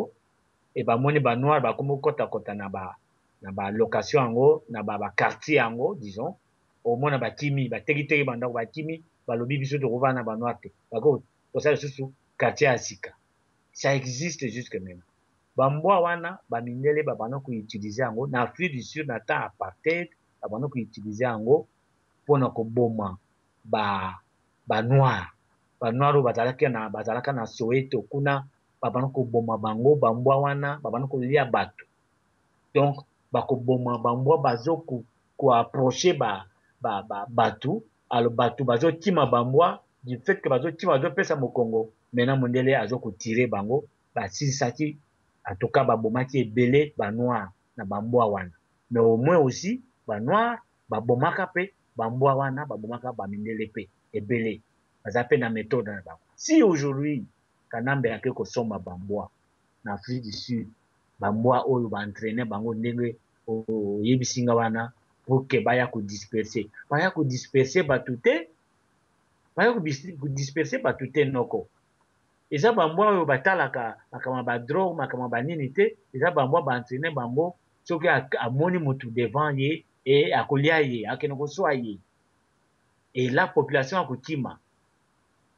alors nous demandons batu ango oyo bazo ko organiser manifestation ou soulevement wana le 19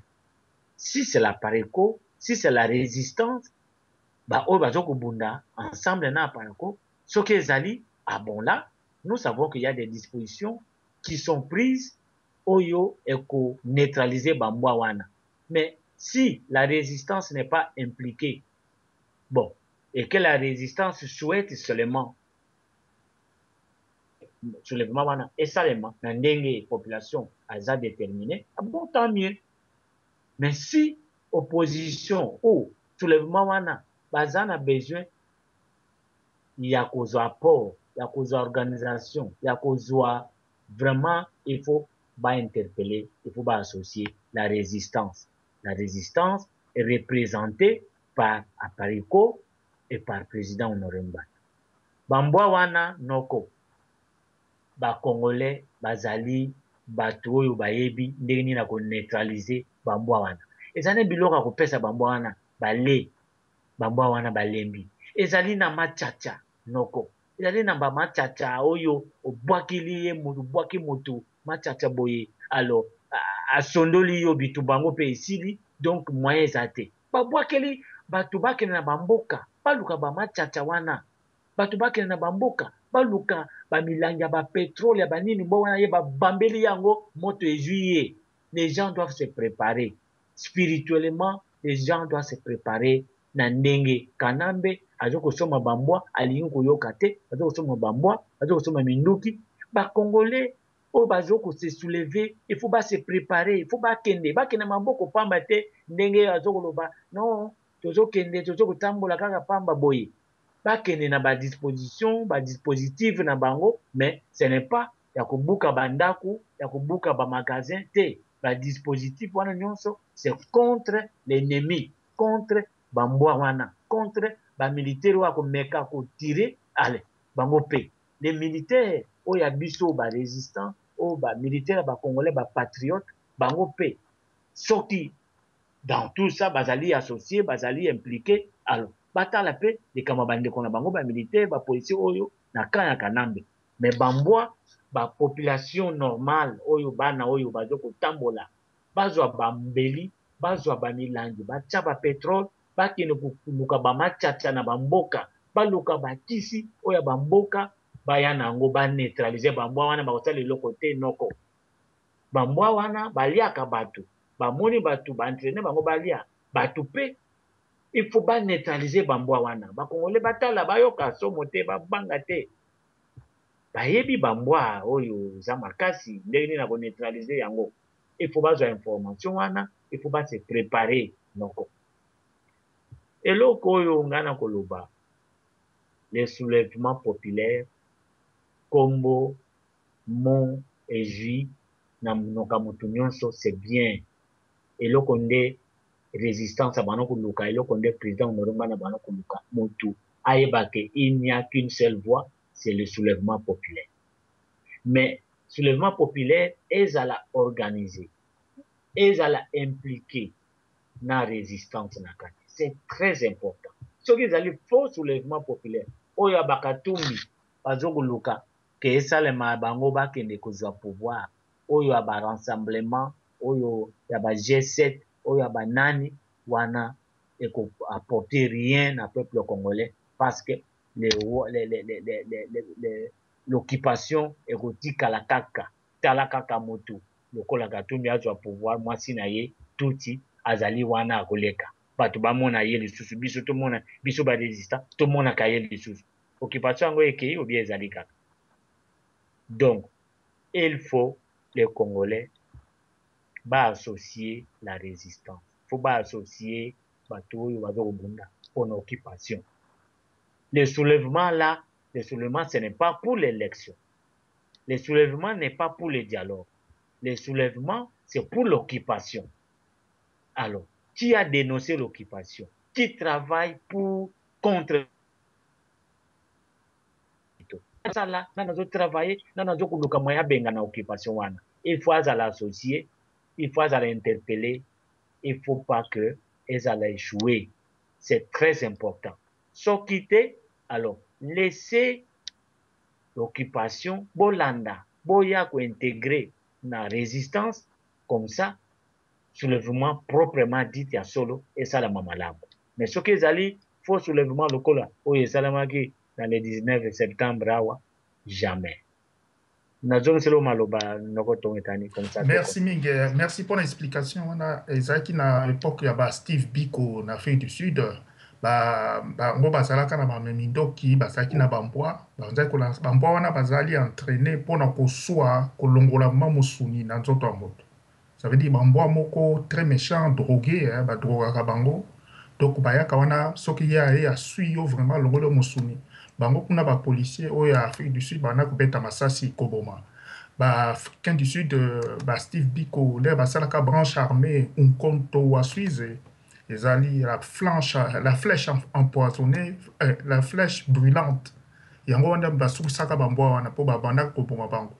Ndenge kaka olobi,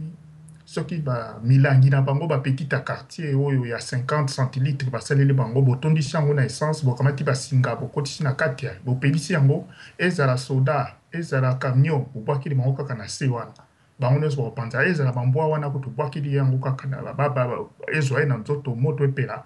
ba mbwa bakosila, ba mbwa wana problème ezali te. Problème na biso ezali nde Susu ba zela te que oyo politicien songolo puisque tangu ba marche ebandaka sur demande populaire ba politiciens ata moko baza te tala mikolo nionso ba limue na Kinshasa ba kepa ba deuxième troisième bureau na bango ko batama ba mususu baza wana omoni neti Eliezer asali ye video oh nga na linga na kende na Allemagne nako kende lisusu Allemagne te eh po na moni mboka eza na na na difficulte donc il faut na tikala bon wana eza masolo na ye mais Mutu oyo azo ko mener kuna soulevement populaire azali te ba zela ba politiciens wana te moto lokola vital kamerhe lelo alobi kabila doit partir tout ça là donc congolais alanda ye te ba tika makambo ya kolanda ba un dollars deux dollars wana ba mbwa wana eza nango eloko pamba puisque soki batu baza determiner ba mbwa kutu bakoya te. Donc bazala na ba nzete, bazala na ba biloko nionso tout, bazala prepare contre ba bombe lacrymogene, ba biloko oyo muana ndeke asombi, eh po congolais amonaka somo ya bombe lacrymogene nde eyaka, omona babandi kokima, esuisui bango na misu, basala ba preparation tolakisaki bango, mouchoir, okamati essuie main, otie mayi, otie na elongi. Donc ekoleka nango te ba mbwa wana c'est rien mais jeux oyo cenco azo joue eza jeux moko malamu te bayebi ke totika na deux semaines bazo ko tergiverser kosalela batu ba ba yuya donc est ce que na cenco yango bayebi te ke mboka eza occupe bayebi yango très bien puisque eglise catholique eza 80 pourcent ya ba debte ya eglise catholique bazala na congo makambo nionso ezoleka bayebi yango ye moko archeveque na biso ayebi yango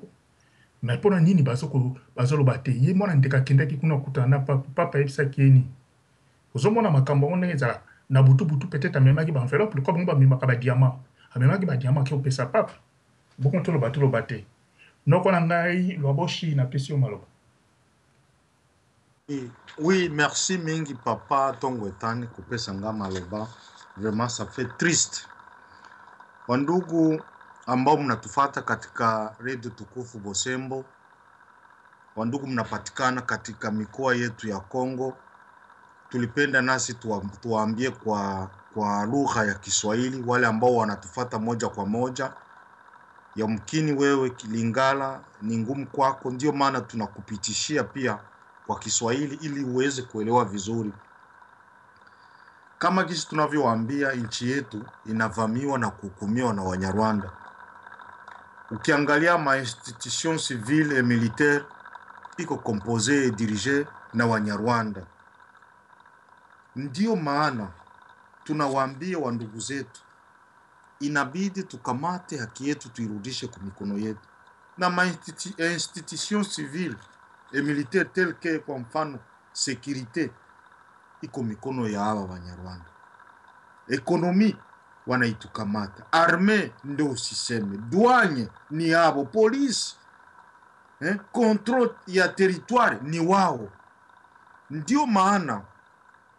ninaita apele, tunawaita apele kwa wakongomani wote mahali mulipo. Hatuitambui mikoa ishirini na sita yenye balisha balkanize, tunaijua kumi na moja yetu Mobutu alituachia, ambao mnatufata kwa Kiswahili yashikeni haya na kuyazingatia ili tuikomboe nchi yetu, kwa sababu inaenda kuhukumiwa na kupelekeshwa na hawa watu. Tugusie kwa hawa maimbwa wanaleta Wakongomani. Artikle makumi sita na ine iko pale kwa kututetea kwa mtu yoyote tunaona anataka kupeleka nchi yetu kinyume na sheria ya nchi, kinyume na katiba. Tuko haki kuitetea na kurudisha madaraka, madaraka yetu kumikono yetu sisi raia. Ndio maana tunawaita Wakongomani mote popote pale mlipo, muwe makini, mushike kile chochote ambacho kinaweza kikakusaidia, kwa sababu huyu Mnyarwanda Polite Kanambe alifanya ujanja,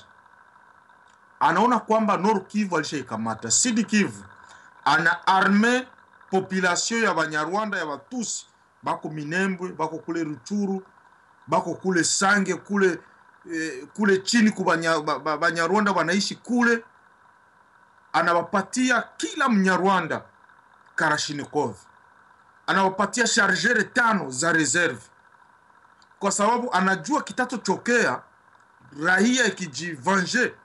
ndo wao waliwapatia silaha hivi wa, waweze kujitetea. Na sisi tunawaambia Wakongomani, ikiwa hamjuu kinachoendelea, hii ndio habari fika ambayo tunawapatia na nyinyi mtafute kile chochote ambacho unajua hichi kitakusaidia, iwe ni cha asili, ili iwe ni chaje, kishike mkono. Tukienda Kinshasa, tukienda Kinshasa unakuta zile sehemu za kule eh, Kingakati kuna fichwa maimbwa, maimbwa zilitoka Afrika ya Kusini, maimbwa hazina hesabu, zilitoka Afrika Kusini, zina fichama kule haswa kule pa sehemu za kingakati. Kwa sababu gani? Wanajua kwamba yamkini ya, ya tarehe kumi na tisa Desemba raia itatafuta kutetea haki yake. Sasa kwa sababu Umoja wa Mataifa ulisimama kibete kwa mauaji ya olela yako yanatokea, ndio maana waligeuza wali system ya kutumikisha maizi maimbwa kwa, kifu, kwa kimbombo tunasema ma, ma, ma, ma, zile ma, zile maimbwa za zenye zinaweza kuvamia watu kwa ajili ya maandamano fulani, wanazituma zinavamia watu na kuwajeruhi. Kwa hiyo Wakongomani, tafuteni, iwe ni rungu, iwe ni mkuki, iwe ni fimbo. Unaona tu ile embe imbwa inakuya, shika ulicho nacho kwa mkono kikusaidie itapiga ile imbwa, itakimbia na mwenye imba atakimbia. Zile machin policier wakati zinakuya vile, shika rungu uko nayo, tafuta nzete, piga ile imbwa, fimbo itakimbia. Wanaleta maimbwa kwa ajili ya kutujeruhi, na sisi tutafute vifaa vya kutujeruhi. Kivu, Kivu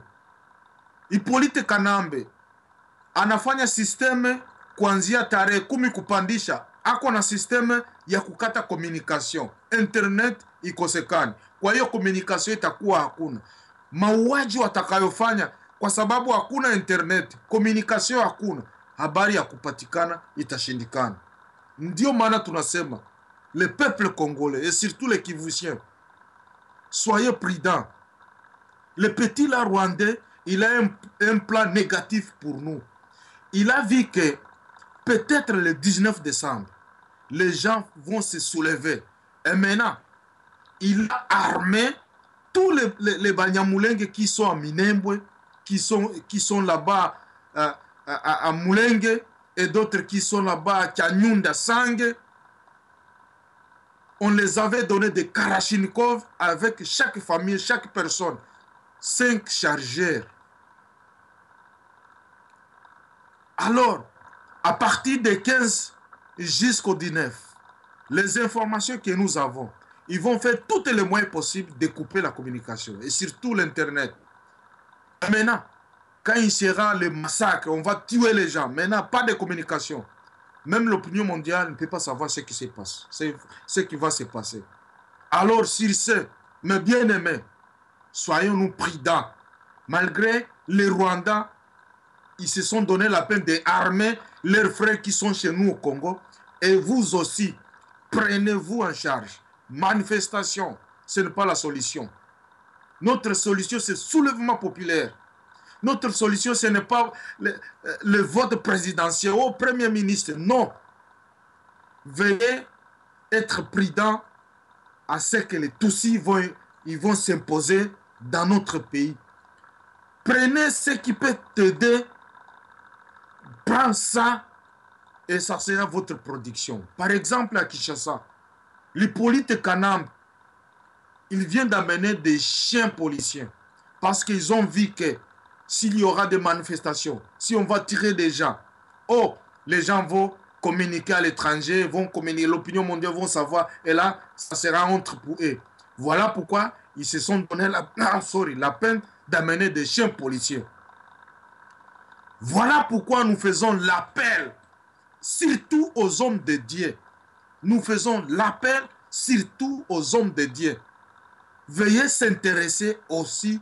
de ce qui se passe dans notre pays. Pas seulement les dimanches, oh, la Bible, oh, des dîmes, oh, Jésus. Non.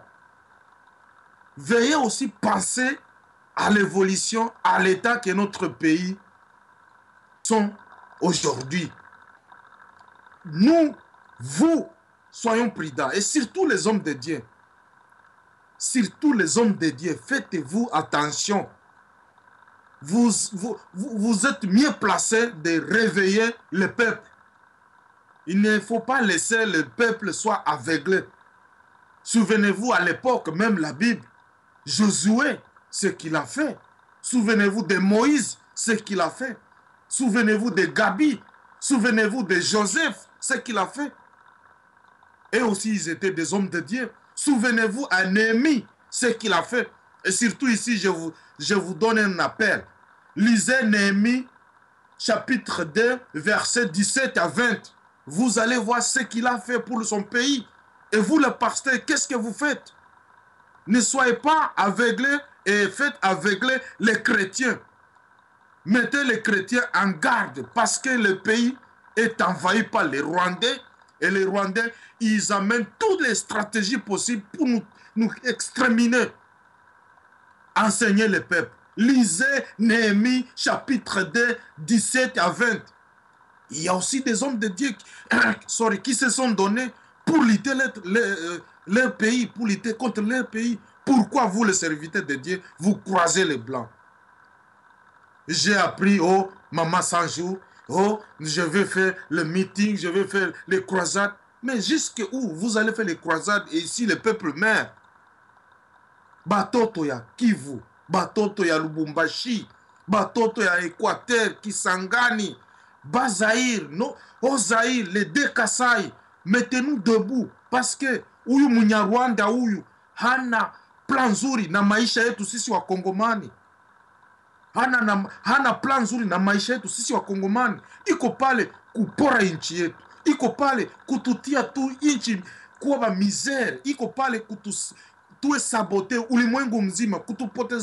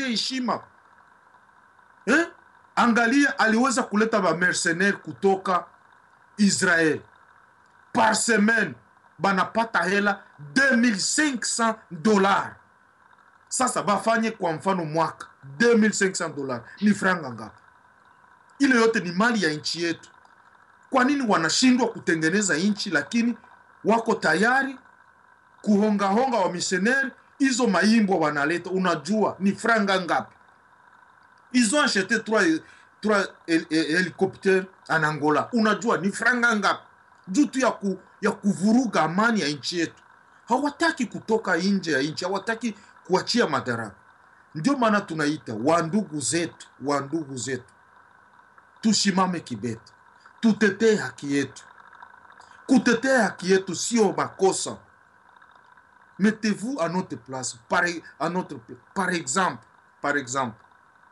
ceux qui disent oh Moïse Katumbi savant,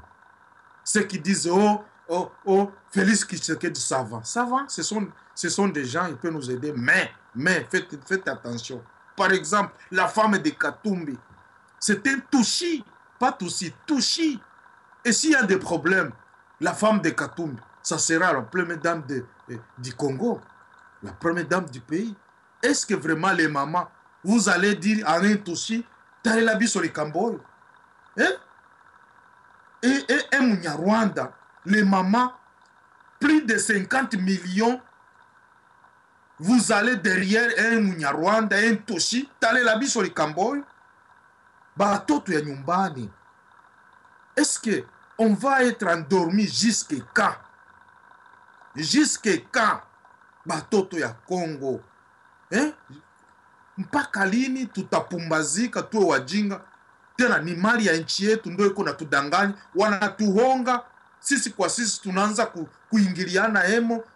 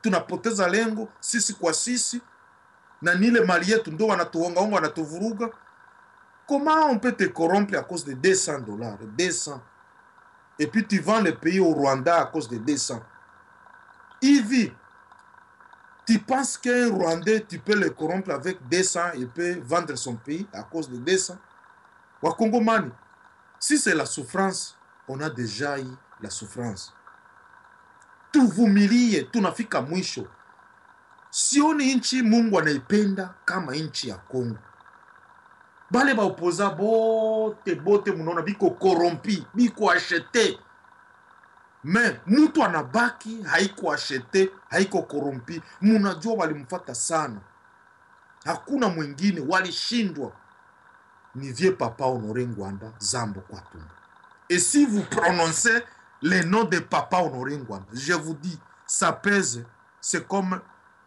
c'est comme une bombe HHV, pas une bombe atomique, HHV. Tous les Rwandais vont dire. Maintenant, tous les Congolais, je fais appel. Cherchez un Fimbo, un ZT. Même s'ils ils ont amené des chiens. Et nous aussi, nous avons des stratégies. Ma première stratégie, chaque Congolais, cherchez Rungu. Rungu, c'est plus qu'un Fimbo. beta bango beta bango fimbo Bakokima na ba jeux wana. Merci papa na moni kanda ezo mata makasi papa na zongisi yo maloba. Merci mingi merci mingi olobi yango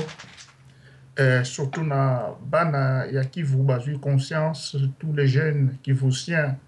euh, ils se battent Bakoti na ba groupe mayi mayi avant bazalaki infiltre par de rwandais parce que ba rwandais bakotaki bakotisaki ba groupe na bango moko mayi mayi parce que les rwandais ils sont observateurs bakosaki bango na mbongo ya mike mike parce que les kivuciens ne profitent pas na ba coltans ezobima epa na bango Soki omoni ba mboka mususu basala lokola Texas, Texas ba leurs ba decouvrir kaka petrole na Texas toyoki ba Dallas ba nini nionso ebimaki comment chez nous soki balobi oh na Tshikapa lelo oyo guerre ezoleka na Tshikapa kuna eh, tous les gens qu'on croyait ba diamants à Tshikapa mais là-bas c'est eza ruine. Na tshikapa ba erosion mayi eza te ya komela kisi eza te les gens sont par terre quoi donc makambo nionso tolobaka ooh dans un coin soki omoni neti mboka ba bengi yo bazo kende ooh biso tokende Dubaï mais Dubaï il ya 15 ans c'etait le desert hein lelo tout le monde bango ba ko decouvrir kaka petrole na gaz apartir ya reserve na bango ya petrole Ba ba ils ont developpe leur pays en principe esika oyo ba ba tiaka kombo ya minerais en principe ezalaka developpe sauf na Congo parce que Tshikapa il fallait ezala Dubaï ya Congo parce que c'est là où ba reserve ya ba diamant ezalaka eh na Katanga kuna ba ba coin wana nionso tout il fallait ba ba ba likasi il fallait ezala ba ba ba Dubaï mais comment eza ba oui il ya rien Ça veut dire que nkita na biso moko toza incapable ya ko gerer yango, incapable ya ko creer ba richesses pour la population. Yango omoni tokomi boye parce que la corruption. Nzambe abomaka Babylone parce que Babylone avec Nabuchodonosor ekomaki corrompu, bazo koyamba bato te, bato tout ekomaki nango mvalangala mvalangana, yango Nzambe apanzaka yango. Mais biso tokolonga po mboka eza ya biso. Toloba ba ndeko na biso Batika ba biloko oyo ba eglise on a plus de 9000 eglise na Kinshasa une petite ville comme ça 9000 eglise bongo sikoyo na kati ya Congo toza na combien de pasteur? Tout le jour tozo mona ba scandale ya ba sex ba scandale ya ko fingana entre bango scandale ya theologie ya richesse terrestre scandale ya oh soki yezu azalaki alingaki kozala na avion tout ça donc Nous sommes tombes trop bas à cause ya bilanda landa yango tomoni ruberwa c'est un pasteur eglise naye ezalaka na na gombe ezalaka plein kunda c'est un pasteur ruguiza c'est un pasteur comment il s'appelle rumarindo soko mokonzi ya m23 c'est un pasteur donc bazwa biso kaka na biloko ba pasteur baye oh non bango lokola balingaka nzambe mingi ale tika tosala bango kaka ki pasteur Yango omoni tokomi boye, ba pasteurs baza bato oyo baza ba envoyer ya Nzambe pona ko eclairer population mais oyo ya biso ezali ba obscurantistes bazo ya na obscurite na mboka ba tangaka bible malamu te. Nga na mona pasteur azo tanga bible na bise non non non c'est pas ça na bise lakisa nga verset ba komi boye boye boye alobi ayebi na ye te donc ozo mona nga alobi mais ozo mona ke te ke ngai nazo ko expliquer yo ke eza boye te eza boye te eza boye te donc ozo mona te ke donc omoni ke moto azo tanga betement azo ko reflechir te makambo batangi atangi makambo oyo ye atangi azo koka ko reflechir te po azongisa yango yango omoni ke de façon osala interrogation na classe mwana azo linga ko koma kaka makambo ye akomaki soki kaka lettre moko ezangi ye allez akomi ne bloque au lieu a comprendre sens ya makambo ye atangi po a retranscrire yango na ba mots na ye imp incapable. Eza mawa mingi mais mboka wana toko libera yango zua maloba noko nanga makengo. Merci na kopesa nga maloba. Bolobi bolobi nioso bolobi ya solo bolobi makambo nionso mais ngai noko nayebi te naza na impression moko que tokomona cinema moko ekosalama une semaine avant le 19 donc bana ya congo bo surveiller comportement ya vieux clement koko ya limete alias etienne tshisekedi parce que ye azali toujours moto ya basurprise azali toujours mutu na ba surprise pe akoki koloba que non pour l'interet de la nation donc nde biso tosengi deuxième dialogue lokola bango baza koboya tokende na Angola po tosolola je le sens nayebi te peut-être je peux me tromper mais je le sens que ako jouer role moko nefaste pona akitisa bana ya mboka basala soulevement populaire yango wana kita bana ya mboka bazwa determination ke na ngongo oyo oyo tokomi nango sikoyo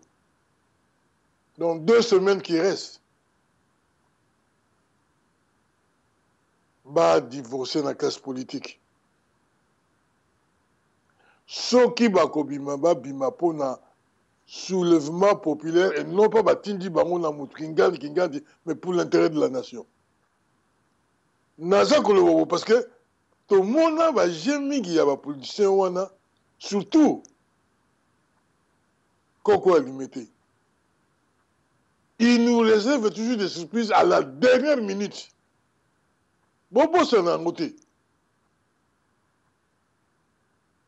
il va nous réserver, réserver pardon, une surprise à la dernière minute akoluka formule mosusu tozala attentif Tolanda ba discours na ye ya mikolo d'abord ye apesaka nde ba discours te totaka ba declaration nini akosala parce que ba tozoyebisa bino depuis kala ke papa wana c'est un danger pour la république bino bozoloba kaka non il a combattu pendant 13 ans akombata nani akombata etumba nini Democratie, il n'y a jamais eu democratie au Congo, à part sauf le temps Lumumba azalaki. Na yango wana toboyi tobeta suba historique mais ngai nalobi kaka to cible regard na biso vers tata wana c'est déterminant fait et geste ya tata wana bolanda yango malamu parce que il risque de nous surprendre yango wana na bana mboka botelema bozala détermine quelque soit manœuvre na ye soki ezali ya kofrene bino ke bolala sukisuki 10e ou 15e pungi ya babebe cette fois ci faut dire non toko libere pays na biso toboyi ba ba ordre moko oyo ya kolemisa peuple alors que ba favorise su kanambe ye moto alingi aboma peuple ye amonani ke aleki voir meme l'époque ya époque ya hitler mais ayebaka ke mboka mopaya eza mboka mopaya ata ofandi plus de 20 ans ou 25 ans mopaya akolonga mopaya akolonga intimidation oyo kanambe aza kosala ba 3000 chiens ba 3 hélicoptères Helicopter pe lekoyaka te. Hum. Nayebi te hein. Mais peuple vraiment bo se preparer ndenge ba ndeko bazo koloba. Bo bima ngulu ngulu te. Tozo ka bino na ba reseaux sociaux ba nini bolobi cette fois ci tozo na tactique mususu. Bo longola ko banga ko kimaka ba gaz lacrymogène wana ndenge noko tonga etana alobi bo zala ba nini ya besoin imbibe donc Pona ko empecher bino gaz lacrymogene ezwa bino na misu. Bo zala vraiment organise pona to sauver mboka na biso. Mais je reviens encore sur ce point, j'insiste, suivez le geste et fait ya koko ya Limete. Je crains une surprise. Nazongiseli yo maloba papa. Merci wana pe eza inquietude na nga nazo linga koloba mingi te mais papa wana asa dribbler biso boko mona kaka ke d'ici le 19 tangu bakomi na apareco eloko moko esalama te papa wana asa negocie na Louis Michel quand tu vois le gros lourd Louis Michel qui est à Kinshasa reçu avec tous les honneurs Bayambi ye ake kokutana kuna ti ye moto alobaka Kabila c'est l'espoir du Congo, il est jeune, il va sortir ce pays tout ça et puis après alobaki lisusu oh non Kabila c'est fini, il a pas fait ce que nous avons demande tout ça c'etait c'est quelqu'un qui a trahi nos objectifs lelo ake lisusu kuna oh non euh, lobi toyoki euh, Corneille Nangaa bata Kabila balobi non na 2018 tosala ba elections Mais ba etats unis alobi pas pas la peine il faut akende et corneille nanga alobi non soki bopesi biso mbongo allez wana nde tokosala ngo na 2017 mais c'est quoi ça donc mboka ekomi nango mboka moko ya kosala kaka euh koluka ko confronter batu kosala ba chantage soki bopesi biso mbongo tokosala en 2017 nous avons besoin d'argent l'argent doit venir de l'exterieur on a vu le Canada apesi 3 millions mais mais ce quoi ça mboka eza par terre population ba professeurs baza paye te bato ba deputes provinciaux ya ville ya Kinshasa ça fait 6 mois ba paye bango te et puis ba ba docteurs ba medecins na Congo bafutaka bango combien même pas 200 dollars noko pardon eh. Noko pardon na Loba. pardon nakati yo maloba te bango bakende senga mbongo batindela bango mbongo mais pourquoi ba denosaka te mbongo oyo ba milliards ebimi na panama papers oyo ekoki kosala makambo tout na congo nazo silo maloba eh. donc 15 milliards ya kanambe plus 12 milliards so 15 milliards ya, ya nani na mwana wana oyo mosusu zoe wana eh, oyo Tongi 200 bengalo mobutu jamais batonga ye au moins Ça, c'est qui c'est qui dit C'est le gouverneur Jacques, Mbadou aussi. là, gouverneur à Matadi Kuna, il y a, Congo, à Ndengwa. Oh, nous sommes contents parce qu'il vient investir chez nous, nous avons besoin de financement. Vous savez, avec euh, ces hôtels-là, ça pourra, on peut créer des routes. Comme ça nous on va profiter c'est la première fois qu'on voit dans notre pays que un dignitaire vient construire pour faire relancer le tourisme nga nalobi mais est-ce que moto aza na cerveau ou aza na cerveau te mboka eza na double de, euh, guichet ya douane toza na douane na matadi douane pour les autochtones mpo na biso bacongolais et douane mpo na barwandais ça veut dire que barwandais bakotisaka biloko na bango avec des tarifs euh, spéciaux Biso ba congolais na ba tarifs na biso ba boyi to tinda ba mituka oyo eza na plus de 10 ans. Pourtant nous en France toza na ba mituka kutu esalaka succès eza oyo ya kala kala wana puisque ba salaka ba biloko na bango ba mituka awa soki ezo tambola nango bien ba salaka controle technique chaque annee mutuka eza bien mituka na bango baza nango kuna na Kinshasa okomona asombi 4x4 ya sika ba pneus nango ezalaka na Etats-Unis oh 4x4 nanga ezo tambola te parce qu'il faut que je commande mes pneus na Etats-Unis.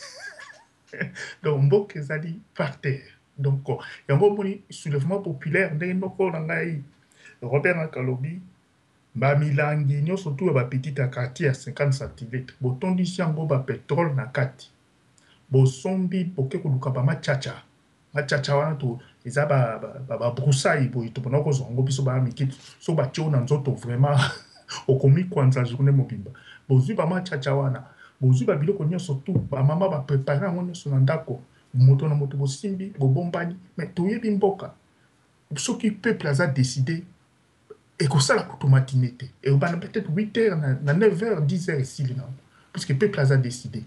Bolanda ba politiciens te po mwana ndeke oyo babengi Vital Kamerhe akomi koloba nous allons faire le soulevement populaire après bakoyebisa bino ça y est rentrez chez vous nos objectifs sont atteints bayoki biso on va essayer de voir eloko oyo bazui yango Kabila ba Moto ba bengi Tshisekedi papa wana Loulou Michel ake koyebisa ye que biso toza na ba compte na yo nioso tout tala mbongo na yo Kabila afutaka yo boye na boye soki o calmer peuple te bakosala biso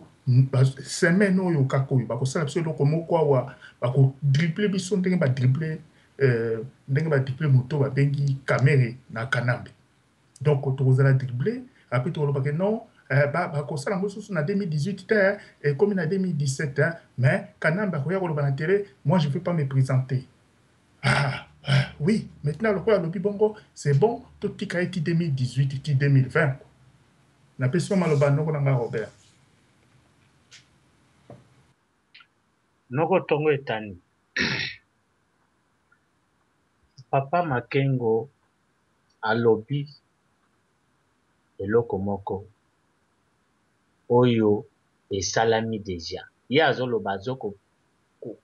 sentir ko se sentir ye azo ko azo mona mais bon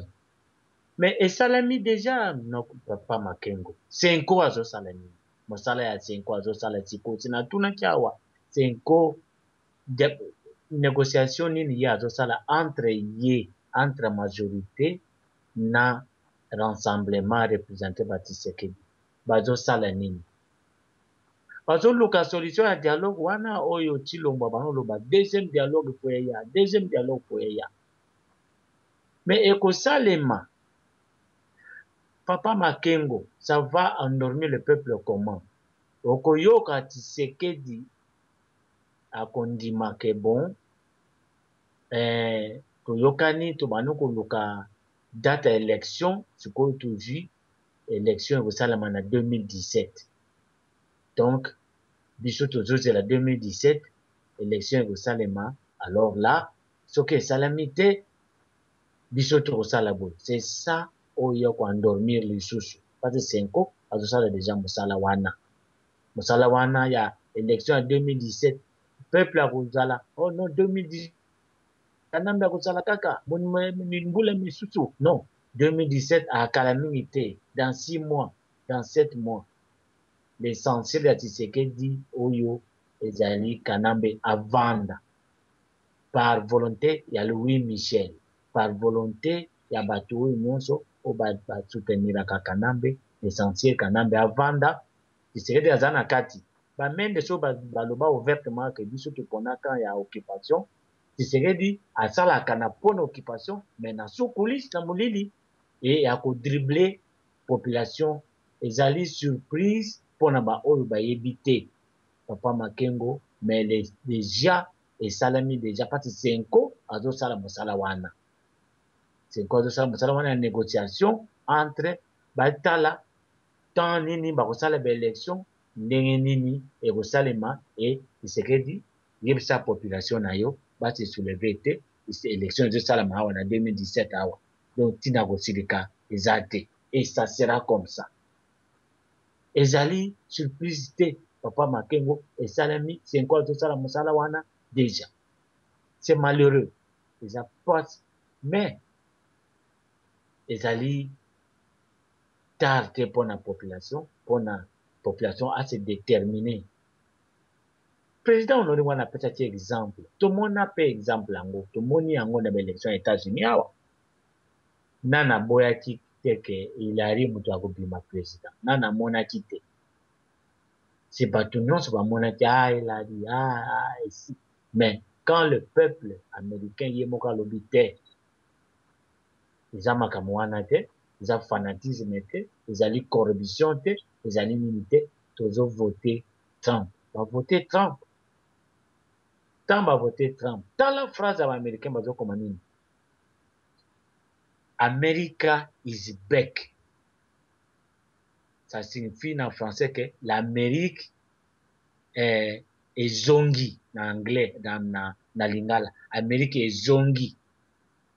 na maboko ya ba americains disons l'amerique est de retour na français l'amerique est de retour America is back ça signifie amerika ezongi amerika ekendaki ekendaki na ba soit disant ba democrate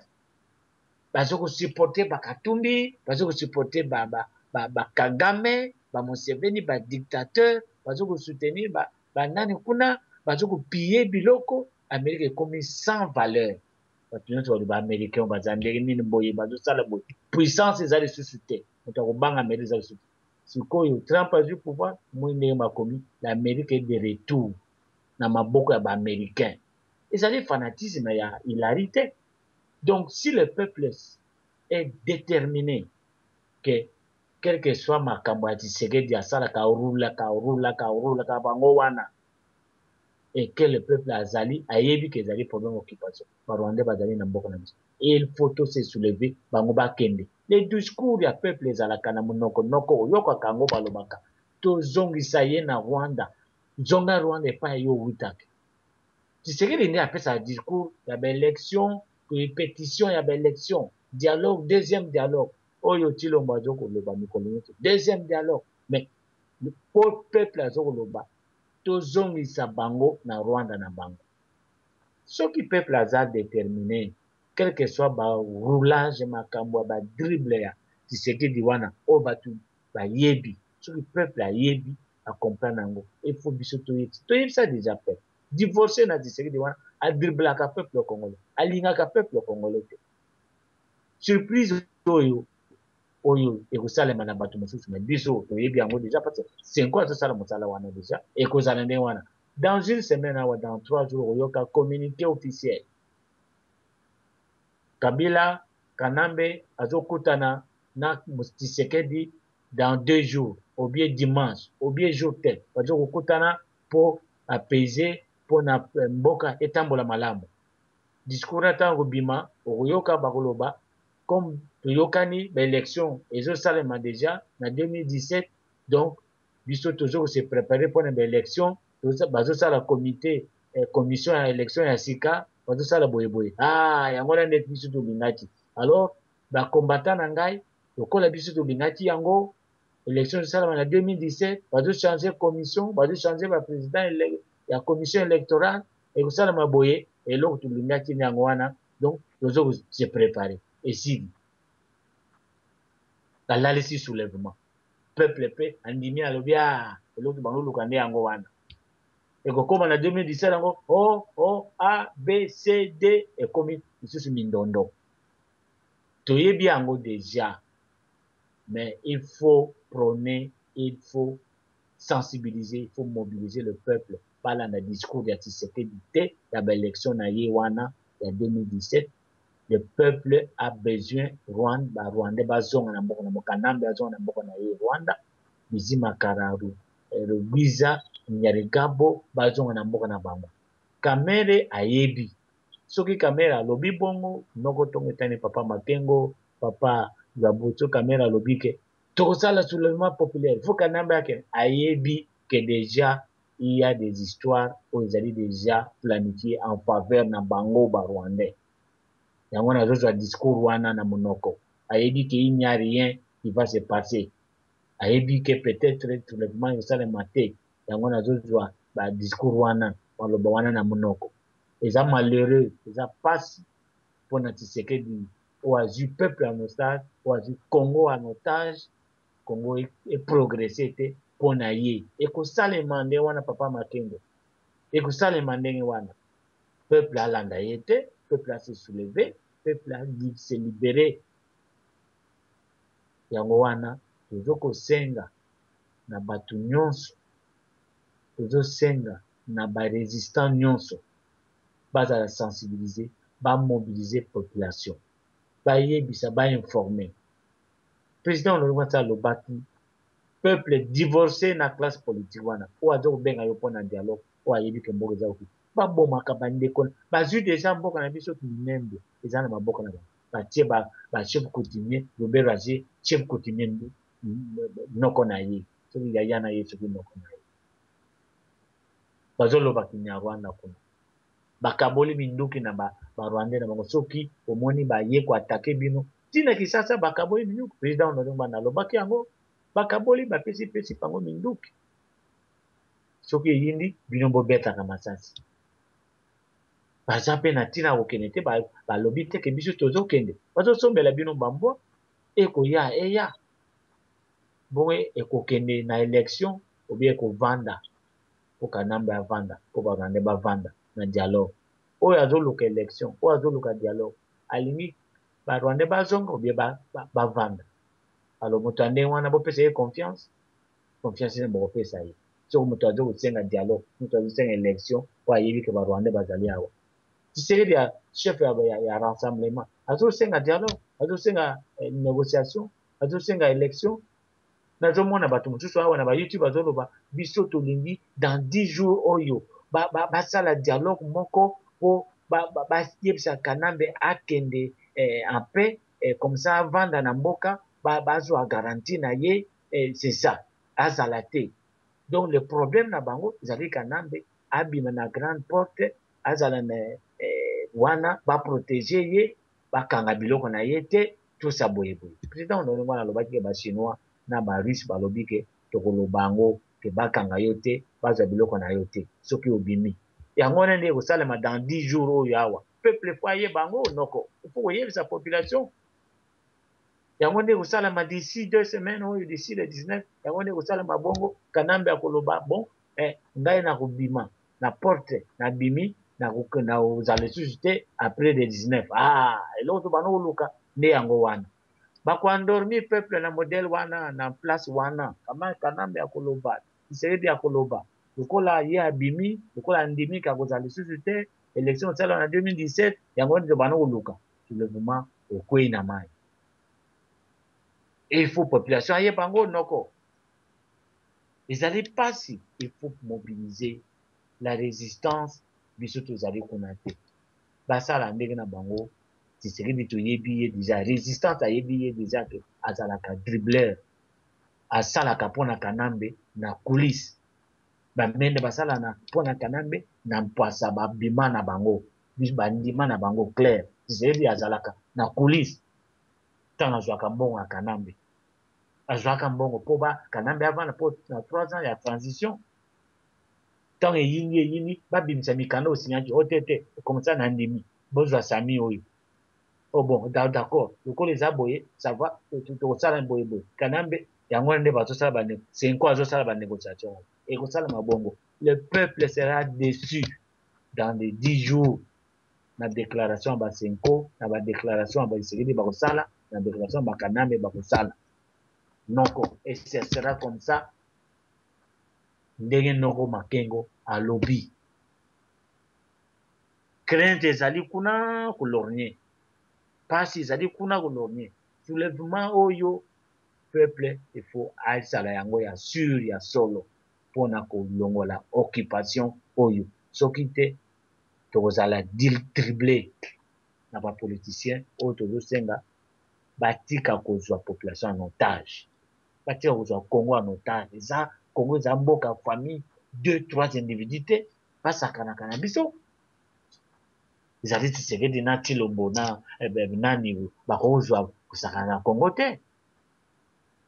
Ba rwandais bavandi bazo koboma biso, bazo kokata batu na beni, bakaboli mboka na biso, bazwi minembwe, biso totalaka. Je dis apesa ata de la declaration te que minembwe il faut ezala ya ba congolais. Jamais mosala na ye election na dialogue.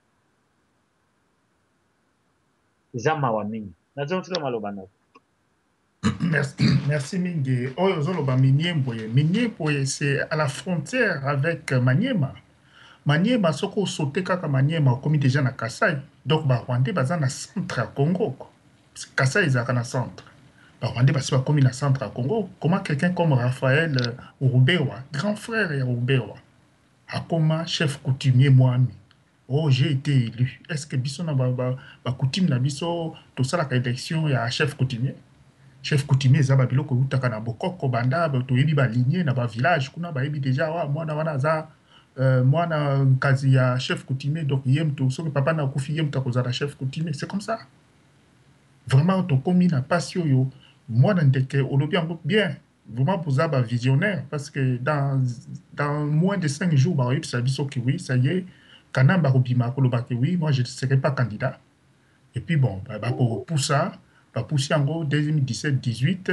après le kuna nde en attendant baluka basala ba stratégie mosusu ndenge nini bakorepousser puisque peuple aza zoba bakokamata babibi to euh, tokotia susu premier ministre badi banga te on va chercher quelqu'un qui était pas dans le rassemblement tokozwa ye na rassemblement bakopona mosusu batie ye wana Et puis, bah, le peuple va dire que non, c'est bon, ah, il a, il a reconnu qu'il va partir, calmez-nous, nous devons assurer euh, la paix, nous avons un chantier euh, sur le plan euh, à donner à manger aux gens, tout ça, le social, tout ça. Donc, nous allons nous atteler sur des choses qui concerne la population, on laisse de cote makambo nionso eza subsidiaire parce que pour le moment nous sommes focaliser sur notre peuple qui souffre tout ça babeti bino ba discours ya milayi milayi kosalela bino ba gouvernement na bango ba 60 membres tout ça là les manger crate bazokende kolia donc tozala ekenge yango omoni biso toza bato tozomona mwa claire yango omoni video Faut bato ba kendeke na YouTube kuna na YouTube ba ba video nionso okomi kaka radio TV bosembo okomona ba emission nionso tout na ba resume ya emission otali yango tranquillement ovandi calmement olandi emission ti na suka ozui makanisi awa tozo kokabola makanisi na biso na sepeli mingi noko Robert na nokolo nga Makengo nokolo Aboshi na ba idee totalaka liboso po ba rwandais batalaka liboso biso tozala kaka Kudu tonton Nkwanda azolakisa biso mapata na minzoto biso tozotala kaka lobo musapi place esuki pona nini place ya mabumu eza wana batu lokola ba petit okambinga oh oui moi je, je suis ministre j'ai 33 ans babengi ye na France 5 bayebisi ye babi mais quand ya euh, bosalaki constitution constitution eza lokola bible ya mboka dire qu'il a ke le mandat deux fois votre président il a dépassé parce qu'il a pris plus de 15 ans mais si le mandat n'est aussi là, alors que pensez-vous oh oui mais vous savez la constitution a été créée pour la population euh, nous pouvons toujours changer la constitution ah réussir ma vie, mais on les a par articles verrouillés par la Constitution. pourquoi qu'on changer la Constitution. Oui, mais nous, nous sommes en Afrique, nous ne sommes pas en Europe. Un gamin comme ça, 33 ans, hein, à un discours comme ça. Donc, ça ne tient même pas debout. Un homme, un petit qui est né là-bas à Kinshasa. Mais tu as discours à Zoloba ou en France 5, on peut changer la constitution, vous savez, nous sommes sur un chantier, nous avons des chantiers à finir, tout ça. Donc, à même sur le plan même intellectuel azoluka ba bamoyen ya journaliste wana ayebisi abi bon bah, merci monsieur c'est tout Aleki na ye puisque amoni azo sakana na ye. Yango omoni que batu nionso tout basali wana omoni que 20 ans ya ba rwandais c'est une generation ça veut dire que eza lokola maladi moko boye hein ezoyi neti mua cancer moko ebandaki muke muke ba moni mua mbuma mbuma ekomi ko vimba ba metastases ekoteli bango ba metastases aleko mi Bakomi na phase terminale. Bato nioso basali na ba rwandais wana ils sont plus recyclables on peut plus les recycler ces gens là ce sont des gens qui vivent avec ba mensonges ce sont des gens qui dissimulent l'argent ce sont des gens qui payent des maisons avec l'argent en liquide omoni na emission natindelaki bino ya ndeko Elezer alobi comment un ministre akende kosomba ndako 3 millions de dollars ndako eza ecole Ecole ya batu ou bien ezali cimetière ya kasavubu ou cimetière ya makala ou cimetière na kisenso ye ake somba yango trois millions de dollars ateki yango six millions de dollars place ya ba libanais po basala hotel donc tu tu te compares azui benefice ya trois millions de dollars donc mais ateki cimetière place bakundaka ba koko na biso. Ozo mona te que c'est quand meme grave? Ba kamati ba lokoti ba mikuwa wana ba ke ko bwaka yango, allez ba kamati wana ba tie hotel, est ce que na butu tango mosusu boko mona batu ba kufa ba bimi? Je ne sais pas moi hein! Donc soki omoni mboka ba komi ko teka institut de la Gombe, athenee de la Gombe, ba teki partie ekomi sports, ya Zoe et puis Zoe akamati ateki lisusu partie wana etikalaki apesi teki yango na ambassade ya chine et puis balobi que oui kimbuta aleki na tele oui oui oui je suis d'accord il ya eu des transactions mais les chinois ils nous ont assure que bakosalela biso quelques immeubles quelque part Tosombaki ba kosalela na bango ba immeubles, ye pe Kimputu aza wana. Ba compagnies nionso tout oyo basalaki wana ya ya ba bus, soit disant actionnaire Kimbuta et il y avait 600 bus, lelo oyo 300 bus ezali par terre. Eza par terre donc peut etre pneus tobwakaki pneus ya remplacement eza te, moteur ekalaki moto ya ko moteur eza te donc,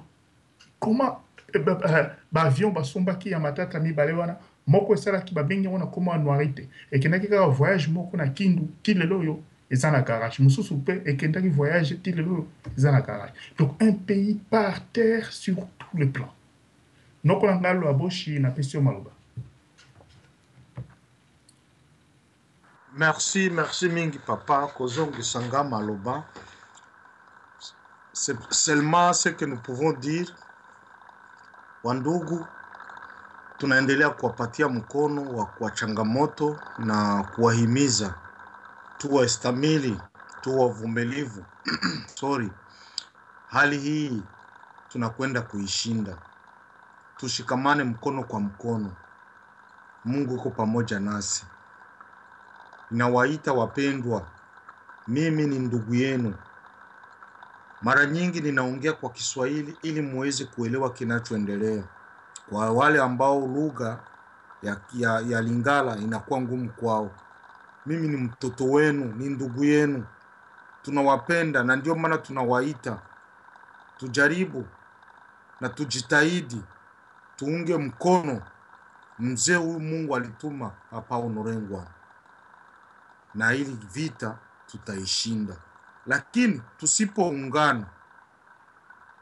tusipoungana mkono na tukashikamana, tukasema mzee, tuko nyuma yako, hakika hakika tunaweza tukaimba wimbo wa taifa Mungu myomba kwa sababu hawa wageni hawana huruma na nchi yetu. Hawa wageni hawatupendi. Hawa wageni wana ratiba mbaya mbovu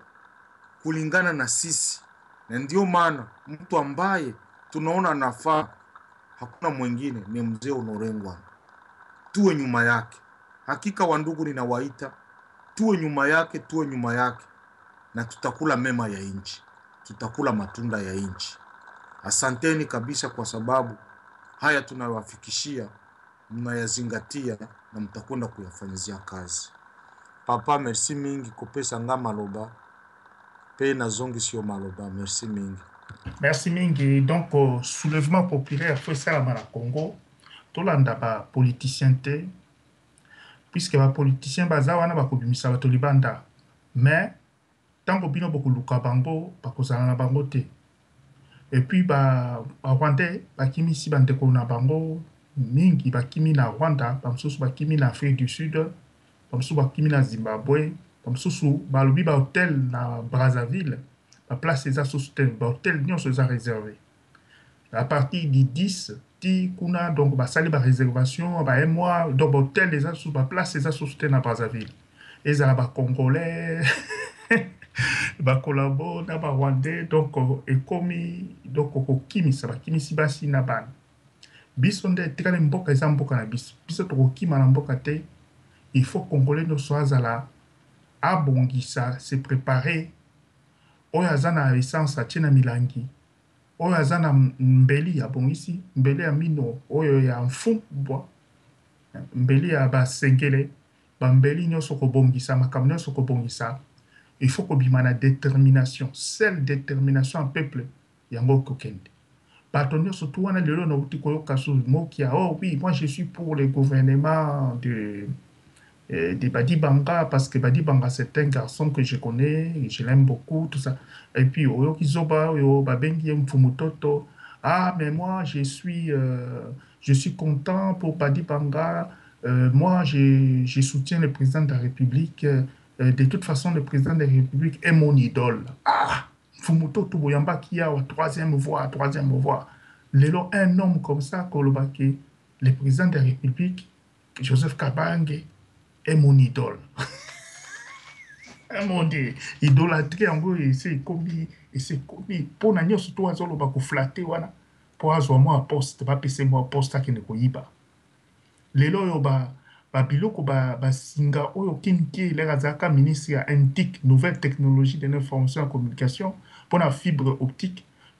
et il parait 50 millions de dollars ebunga kuna bayebi place ekenda te ti lelo oyo ba fibres eza te Congo ezui retard cote internet et puis mua internet ya muke oyo etikalaka wana soki neti makambu ebandi boye bakati lelo oyo bakata bakati lien ya radio okapi ya radio rfi ba France 24 ba radio Amerique ba radio ya Londres ici Londres bakati kati ba radio nionso etrangère puisque baboyi bana bana mboka balanda ba informations puisque television na bango wana bazo lakisa kaka ba djalelo na bango, bazo lakisa kaka ba lushima, bazo ko critiquer ba combattants, bazo ko critiquer makambu bazo beta emission mobimba balobi makambu ya Babin Masombo boye na boye, batu wana baza ba jaloux ya ba musiciens tout ça là mais ozo komona que mboka au lieu kotangisa bana batangisaka kutu bana te yango omoni tozo kokoma na niveau oyo tokomi. Niveau oyo tokomi tosengaki yango te, kasi Nzambe akosalisa biso, tokolonga na etumba oyo. Noko Makengo oyo napesi yo maloba. Merci na kopesa nga maloba. Papa Robert Anka, olobi na yo ya bien, biso toyebi eh, surprise ya Etienne Tshisekedi. Nalingi na approfondir yango boye. na koloba que il va nous surprendre ça sera peut-etre l'occasion pour le moment pona peuple a divorcer na tata wana c'est-à-dire qu'en tant que ya peuple ezali soulèvement populaire pasi eleki ba rwandais bakotoli biso na mboka ba militaire étranger bakotoli biso na mboka soki ye ameki koloba ke Akende na dialogue dialogue ou akende koyogana na kanambe c'est à dire d'un cote andimi que kanambe atikala na mboka wana ce que le peuple ne veut pas voilà ndenge nalobaki bongo wana pona ça sera l'occasion à notre peuple oyo ba fanatique na ye te à notre peuple de voir clair de voir que tata wana azali obstacle munene na mboka na biso parce que ako latisa peuple pongi ya ndenge wana te tous les jours tous les jours pongi soki ameki peuple a divorce na ye catégoriquement na batu nyoso oyo ya rassemblement oyo baza na double langage yango wana eloko ya tokosenga na peuple yango nalobi na nasengi na peuple bo surveiller le fait geste ya tata wana c'est vraiment capital le moment est venu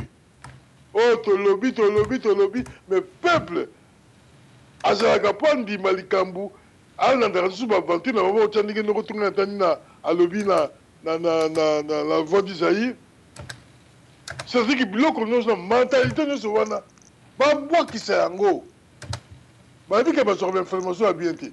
mais cible na biso ezali koko ya Limete soki ameki kaka ko prononcer ok pour l'interet de la nation Toke tosolola na ndenge olobi yango bien que bakokosa batu election ekomi na 2017 or que peuple aza na besoin election sur te à moins que kaka bato ya udps oyo batikali baza na besoin ya election te besoin ya dialogue te parce que dialogue oyo basali awa oyo ya bango soki monologue wana epesi nini baaccord basigne Ba corps moko eza koboma mboka. Peuple atelema, peuple atelema. Ata tata wana alobi, yango nalobi pour reiterer encore formule na ngai, tata wana soki ameki koloba kaka Tozui solution po tokutana na kanambe peuple abuakisa ye ya libela ya libela ya libela amona ke azali malheur ya avenir ya ba jeune malheur ya avenir ya pays aza ko agir contre developpement ya mboka contre Souverainetes ya mboka. Merci na zongisi bino maloba. Merci mingi merci mingi faut peuple a rejete parce que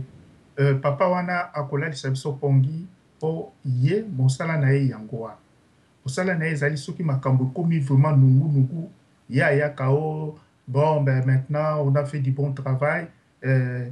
eh, tika to eh, tobongisa eh, tobongisa entre biso eh, sima on va essayer de voir et euh, euh, euh, c'est sûr nous irons aux élections cette fois-ci tout ça comment bokoki kokende na élection avec euh, bato ya seni wana moto oyo babengi ye toloba nano bien Moto ba bengi ye Corneille Nangaa, muasi na ye aza tutsi, ba bota na ye basi bana mibale.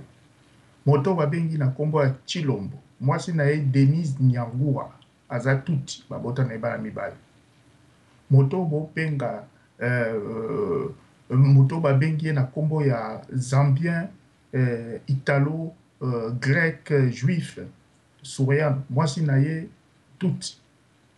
Donc toko sala nini muasi wana akoma première dame tshise eh nani yango omoni leurs papa na biso kulutu honore ngwanda alobi euh que ba kende ko tuna denise nyangura azali agent ya kagame bango nionso ba gangi ah papa wana alingaka bato te tala akomi ko finga akomi ko finga est ce que udps parti ya kala kala nde ngwana bakoki kozala sima mwana muasi tout ça là c'est quoi cette histoire yango biso tolobi Congolais soki tobimi ya libanda bobima na ba biloko nionso tout ezali soulevement populaire eza kolanda ba politiciens te parce que ba politiciens nionso baza wana bango kaka bayaka janval wana tu te rends compte quand meme na mboka nini esalamaka que boyambi batu na janval bayambaki Jose Makila, bayambaki Jean-Lucien Busa, bayambaki Mukishi, bayambaki Jean-Lucien Busa, bayambaki bango nionso tout, batu wana bakomi kaka na Kinshasa ba bake na dialogue. Sikoyo bango wana bavandi wana na dialogue donc des politiciens bazanga colonne vertebrale. Eza makambo kutu ya kozanga vertebrale te, soki otali Mukishi wana, Steve Mbikayi, Bitakwira d'origine rwandaise, Oyo tomoni moto babengi ye na kombo ya Matata Mponyo avant de par yo somona moto balongoli ye premier ministre akamati directeur ya cabinet na ye d'origine rwandaise atie ye mokonzi ya DGDRAD akamati moto moko babengaka ye Kitebi Kitebi azalaka ministre ya finance oyo ayibaka mbongo ya ba avions wana ayibaka mbongo nde azalaka ministre ya finance kitebi balongolaki ye mais azalaki lie na matata lelo oyo matata ke akamati kitebi azongisi ye lisusu na place ya place mbongo eyaka na batie ye manda manager manda donc matata akamati batu nioso tout ba rwandais nioso basalaka na ye atie tie tie bango na esika mbongo ekotaka Ebongo yo ministre akoya wana yo okoki kosala susu na batu wana yango omoni point d'interrogation ya mboka na biso donc awa totikali na tokozua na moto na moto tokozua cinq minutes cinq minutes po tosilisa nakobanda na noko na nga Robert Anka zua cinq minutes na yo.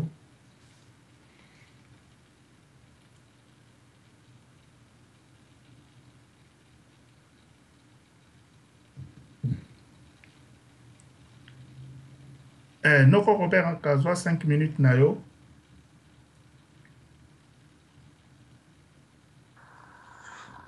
Ok, eh, wandugu Robert Aka aza mwa bizu peut-être. Ah ouais, loba. Wandugu eh,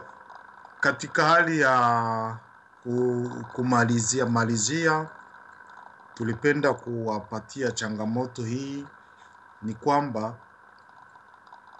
ndugu yenu anawahamasisha na kuwaita. Hakika karibuni sana, tuwe nyuma ya mzee Honore Ngwanda. Si kwamba nampigia debe, hapana, ni kwamba yeye ndiye tunaona nafaa katika nchi yetu kurudisha amani. Ukifata maneno yake yote ambayo yuko nasema, ni maneno ya umoja, ni maneno ya upendo ni maneno ya kujenga nchi, ni maneno ambayo yatatufanya leo kesho nchi yetu amani ikipatikana itarudi nafasi yake na tutarudisha ile heshima yetu ya nchi yetu. Lakini hao wengine wako pale kupora mali ya nchi, wako pale kwa masilao yao wenyewe. Mimi ni ndugu yenu, ni umoja ambao nime fatilia kwa makini, nikasema hapana, huyu ni mzee ambaye tunapaswa kuunga mkono kwa ajili ya kuleta, ya kuleta na kutetea amani katika nchi yetu. Kitu tunawaomba, hakuna dawa inayobaki ni soulevement populaire. Problemu ya nchi yetu kwa sasa hivi sio Sami Badibanga. Problemu ya nchi yetu kwa sasa hivi sio premier ministre Probleme wa enchi yetu sasa hivi sio kwamba tuwe na, na, na transition. Probleme ya nchi yetu sasa hivi sio kwamba tuwe na uchaguzi. Probleme ya nchi yetu sasa hivi ni occupation. Notre problème c'est l'occupation. Le pays est occupé. La solution iko pale. Tumusikilize, ecoutons ce que papa Honore Ngwanda nous dit et mettre le, mettre le en pratique ce qu'il nous dit et nous allons vaincre. Vive papa Honore Ngwanda. Merci papa nazongisi yo maloba. Merci mingi. Problème na biso ezali occupation. Olobi yango bien. Occupation, mais c'est pas une occupation comme ça.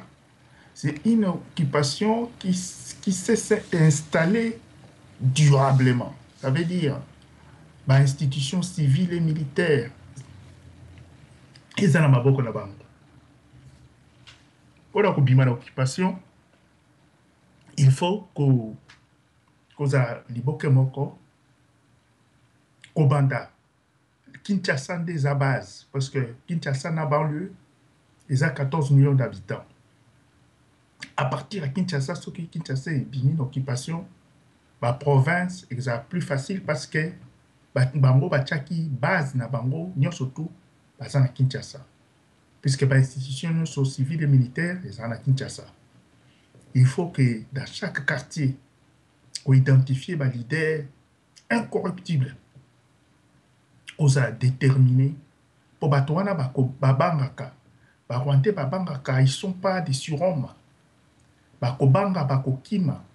puisque ndenge bakomaki na pareco batalaka ba film ndenge ba congolais na, na pont ya njili wana ndenge babwakaka ba rwandais na mai me ya mbalo balobi ke ekozala susu pire il faut ezala pire mpo bazonga lisusu te puisque ba kendaka ba bizima ba kendaka ba kendaka bango nionso mais bango nionso ba zongaki lere ba monaki ke aah pouvoir na bango ezongi ba bomi muze bango nionso ba zongaki puisque ba zwaka congo lokola elanga na bango ya miel lokola miel na bango ezalaka na congo ba yebaki te ke ba coltan ezali ta ndenge ba bongwisi kigali lelo kigali ekomi la capitale la plus belle ya afrique Kigali ekomi na capitale avec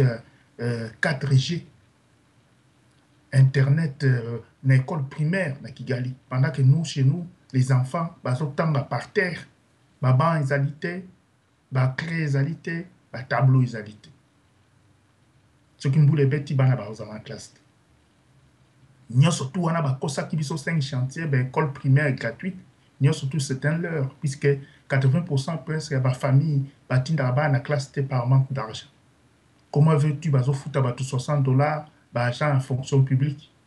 ba bazofutela ba ndaku 400 dollars Mais comment batu wana bako zala euh bako sala malamu na ba musala? Lelo oyo passeport na Congo il parait grève eza na affaire etrangère un passeport ekomi 500 dollars un passeport 500 dollars et c'est pour trois ans renouvelable or biso na poto awa passeport neti ya France c'est 10 ans Eh eh nani eh passeport c'est 15 ans eh et puis carte d'identite c'est 10 ans ozo mona biso toza na passeport awa kala toza passeport jusqu'à 2030 donc kuna na Kinshasa 3 ans après 3 ans okende kosomba yango lisusu ofuta lisusu eh, 500 dollars ou 300 dollars après 3 ans okende kosomba pendant que moto oyo aza na France aza na passeport na ye 15 ans Ozo komona te que il ya quelque chose qui va pas? Makambo nionso tout basaka sima c'est ministre Lukwebo ye pe aza na societe na ye azo ko somba ba ciment aboyi ba societe misusu tozalaka na cimenterie na biso ya nini ya bas Congo kuna esalaka lisusu te donc ba ciment ekoma importe pourtant cimenterie na biso ezali na bas Congo bokoki ko relancer na Kisangani cimenterie ezalaka mais nionso tout eza par terre par manque ya ba matières premières, bazangi ba ba ba machines outils pona pona kosala ba biloko wana yango omoni tokomi retard na mboka makambo nionso tokomi nionso tout ezali origine ezali infiltration na occupation rwandaise tant que Mutu akoloba lokola kulutu Noe Nguana te, notre problème c'est l'occupation rwandaise, eza te bato ba fingaka, bato ba tiaka ba YouTube ko finga du matin au soir, eza occupation, tant que congolais toyebi que base eza occupation rwandaise toko longa. Tokola nga makengo na pesi yo cinq minutes na yo. Merci pona kopesa nga cinq minutes, na koloba na peuple congolais boye, ba ndeko na ngai, Tokomi na phase finale. Phase finale oyo to deraciner occupation eza na kati ya mboka na biso mpo to retrouver bosomi na kati ya mboka. Kasi tokosala yango na determination kinois nionso abima. Bobangi ezala te soki tobimi ta plus de 10 millions yoka si ba mbwa wana na ba soda wana ekosala biso nini? Tobima pe ngulu ngulu te, tobima pe ngulu ngulu te. Ngonga ekoki, pasi eleki plus de 20 ans ça suffit. Kanambe. aza super homme te kanambe eza mboka naye te les rwandais les tutshi power il faut bazonga na rwanda ba ougandais na ouganda ba burundais na burundi le congo c'est pour les congolais seul totelema Le moment est venu toza ko acheminer vers la date fatidique oyo bango moko bapesaki na kati ya charte ya constitution na bango ke le 19 mandat ya Kabila ekosila. Biso peuple congolais faut totelema. C'est maintenant ou jamais merci na zongisi lo maloba. Merci mingi merci merci vraiment c'est maintenant ou jamais peuple na biso ba kende ngulu ngulu te il faut ko sala appel ko luka ko s'identifier na bato nionso oyo ba simbi mboka ba jeunes oyo bazo ko bima malamu ba sala Très entention na ba infiltres puisque mwana ndeke ba sopi mbongo pa ba infiltres bato bazo koteka ba ndeko na bango bazo kobundela bango ba sali mouvement ujana mouvement moko ya sika kombo ujana balobi nous ne voulons pas la violence au Congo tozo benga ba jeunes biso ba jeunes ya ujana Tozo penga ba jeune ya filimbi ba lusha baya ko dialogue na biso ba jeune wana ya filimbi lusha ba bi toko dialogue na bino te nous on respecte la constitution kabila asi asali deux mandat il doit partir de force de gre ou de force ndenge ba lobaka yango omoni hum eh oui yango na moni que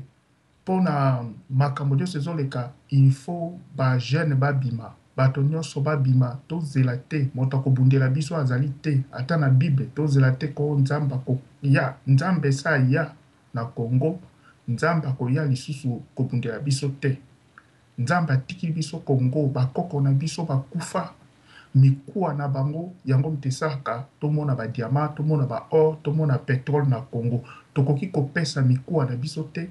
na moto lokola oyo ba bengi ye Raphaël Raphaël Ruberwa akoma chef ya village